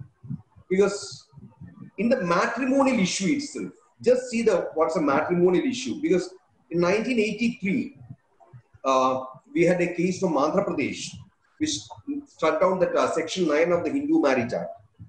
And there was a Delhi High Court judgment during 1984, Arminder Kaur's case. That also is a, uh, I think it is a, an AR 1984, uh, Delhi page 66. And the Supreme Court in Saroj Rani versus Sudarshan Kumar, which of course is dealt with in uh, this particular right to privacy judgment. Saroj Kumar's case that was 84 4 SCC page 90. Supreme Court goes on to say that the right to privacy did not guarantee the autonomy of an individual over her own body. And so the restitution of conjugal rights under section 9 that cannot be said to be unconstitutional on the ground that it violated the right of privacy. But just see, taking into consideration the development of law through Puttaswamy, don't you feel that this needs a revisit? Because uh, if you have read the judgment in its entirety, it deals with another judgment of the Supreme Court. Govind was the state of Madhya Pradesh, which you had uh, an occasion to show on the slide, 75 2 SCC 148. There, the Supreme Court goes on to say that particular judgment that finds place in this Puttaswamy judgment, that goes on to say that the personal intimacies of the home or the family or in sort of a marriage, motherhood, procreation, child rearing, everything, and this particular definition of privacy that seems to treat the home it as a private space where law can never, never interfere. And just see that Saroj's judgment of 1984 even when the Supreme Court went against that Andhra Pradesh High Court judgment, uh, that Andhra Pradesh High Court judgment that is, uh, in fact, it was penned down by Justice Chowdhury, and he goes on to say that it is a right to privacy which belongs Sarita. to individual. Sarita's case. Sarita versus Venkata, Venkata, Venkata Subbaiah. I think it is AR 1983, Andhra Pradesh 356. I'm not sure Right, of the right, page number. right. Page number, I'm not sure. So just see, sir, in light of this Puttaswamy judgment, which grants, because Puttaswamy judgment grants complete autonomy over a person's body. That means the court has thus adopted the individualistic definition of privacy, as was argued in Sareetha of 1983. So doesn't that judgment needs a revisit or a relook? That's the question which I pose before you. I, you know, um, notions of privacy are always relatable to notions of public morality also. Because uh, public morality always tries to govern either through societal mechanism or through the state agencies. It tries to govern individual choices. And it just so happens that we are at a stage in history as a country and in terms of the social movements which relate to individuals, let's say the women's movement, let's say the LGBT movement. These are all individual centric movements also. So when these in movements in a historical context have interfaced with the question of privacy, to my mind, a court situation situated in 2017 will have to recognize individual autonomy over familial bonds or familial, uh, let's say, protecting the family. Because that is how our society has moved. And the judgments related to restitution of conjugal rights have always said that it is still an inexecutable right. We do realize that you can you can decree it but you can't really force somebody because that would be a travesty it remains on the statute because it has not been repealed but there are enough judgments to indicate that it should never be so if you ask my view i mean that's the beauty of a long academic judgment that we can still hold different views. And I think uh, your view would also have merit, so would uh, mine and sirs. But I believe that individual autonomy is the foundation on which public morality should be based and not the other way around. Okay, now my second doubt uh, regarding this particular judgment is that altogether, as I said, that there are six separate judgments, six different judgments. Now, just see, four judges would give a particular view. And as we all know, even in Kesavananda Bharati case, which is a landmark decision in the constitutional area, which is known to every lawyer, law student, everybody. Now, there are also 13 judges gave six different opinions regarding the parliament's power. Now, kindly see, even in that judgment also, several uh, senior lawyers of the Supreme Court, they had questioned whether it's what it is ultimate holding. Because is it a correct reflection of different opinions cropping up? And you have that uh, triple talaq judgment. Because uh, Justice Nariman was ruling on the principle of arbitrariness. And fundamentally in this right to privacy judgment also, even though it's by a nine-judge bench, when there are differing opinions, kindly see Justice Chandrachud's opinion. Because he was on the test of reasonable expectation of privacy. That was what he tested. Actually, Justice Nariman rejected it. If you read the judgment, Justice Nariman rejects it. Of course, other issues which were uh, in the approaches that may vary, and it includes the nature of privacy of permissible limitation, whatever that be. So, how do you reconcile this comprehensive matrix of the issues? Because six judges they differ on they differ on several points uh, in between themselves. Justice Kaul he goes on to say something else. Justice Chandrachud goes on to say something else. Justice Nariman differs with Justice Chandrachud. So, can you say that it's a majority opinion? Can you, how, how do you say that it's a majority opinion? You know, even the US jurisprudence, the, there are concurring judgments or they are not materially dissenting, but they seem to uh, record different views. Even if you read Katz, it's the same case. Fundamentally, I think uh, Puttaswamy, most of the decisions have agreed with each other, except the variations that you point out. Those variations are also, to my mind, more in the nature of further elaboration rather than direct controverting. And uh, they generally are supporting each other. For instance, the Naz Foundation matter, most of the opinions have taken care to reiterate that. So you will have to follow a slightly reductionist approach in the sense of identifying at least one takeaway, which is privacy. But enough has been left, as, as they say, it's to be taken case by case. Um, but I think overall there is unanimity in the judgment. There might be some variation. Which is, Overall, overall, you are correct. Overall, there is some unanimity. maybe maybe the maybe the core issue they all agree but uh, in the frill or uh, the peripherals or the explanations they have their own ways of reaching to the same conclusion their own ways because one says it is in this policy, the other says it is in this policy. Because uh, it's not conducive to clarity. Because if you read all the six judgments, uh, they all differ in their opinions. Even though at the end of the day they would conclude it is like that. But see, because even even that even that could be even that could be a research that could be a research, a, correct? a, a, a subject of research it's a very extensive subject for research. That this particular judgment itself. Thank you so much, sir. It was wonderful, wonderful.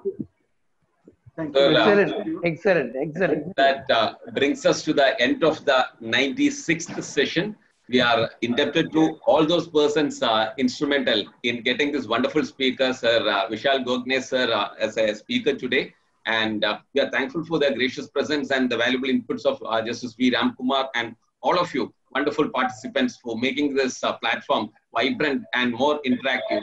Today we had a sort of uh, uh, a thesis presentation wherein uh, we, we, we were exposed to, like Ramkumar said, privacy was taken for granted or rather was never recognized as a right allowed unless and until it seriously um, uh, I mean, affronts or infringes my day-to-day activities. Otherwise, I would have just gone by it and suffered it without knowing that such a right exists. Uh, and for that example, I mean, there was one example, sir, that is um, practice makes perfect, we used to say. So if you practice something wrongly, you will become a perfectionist in doing it wrongly. So it is perfect practice which makes it perfect. Likewise, knowledge and unless and until you are exposed to these different thoughts and you have, the, you know that there are such rights available, then and only you will be conscious of its infringement or any sort of uh, aberration happening. Thank you very much uh, uh, for the wonderful presentation. And tomorrow, sir, uh, we on the 97th session, we have Justice V. Giri, uh, senior advocate of Supreme Court and the former judge of uh, High Court of Kerala. He will be on the topic Doctrine of Constitutional Tort Equity.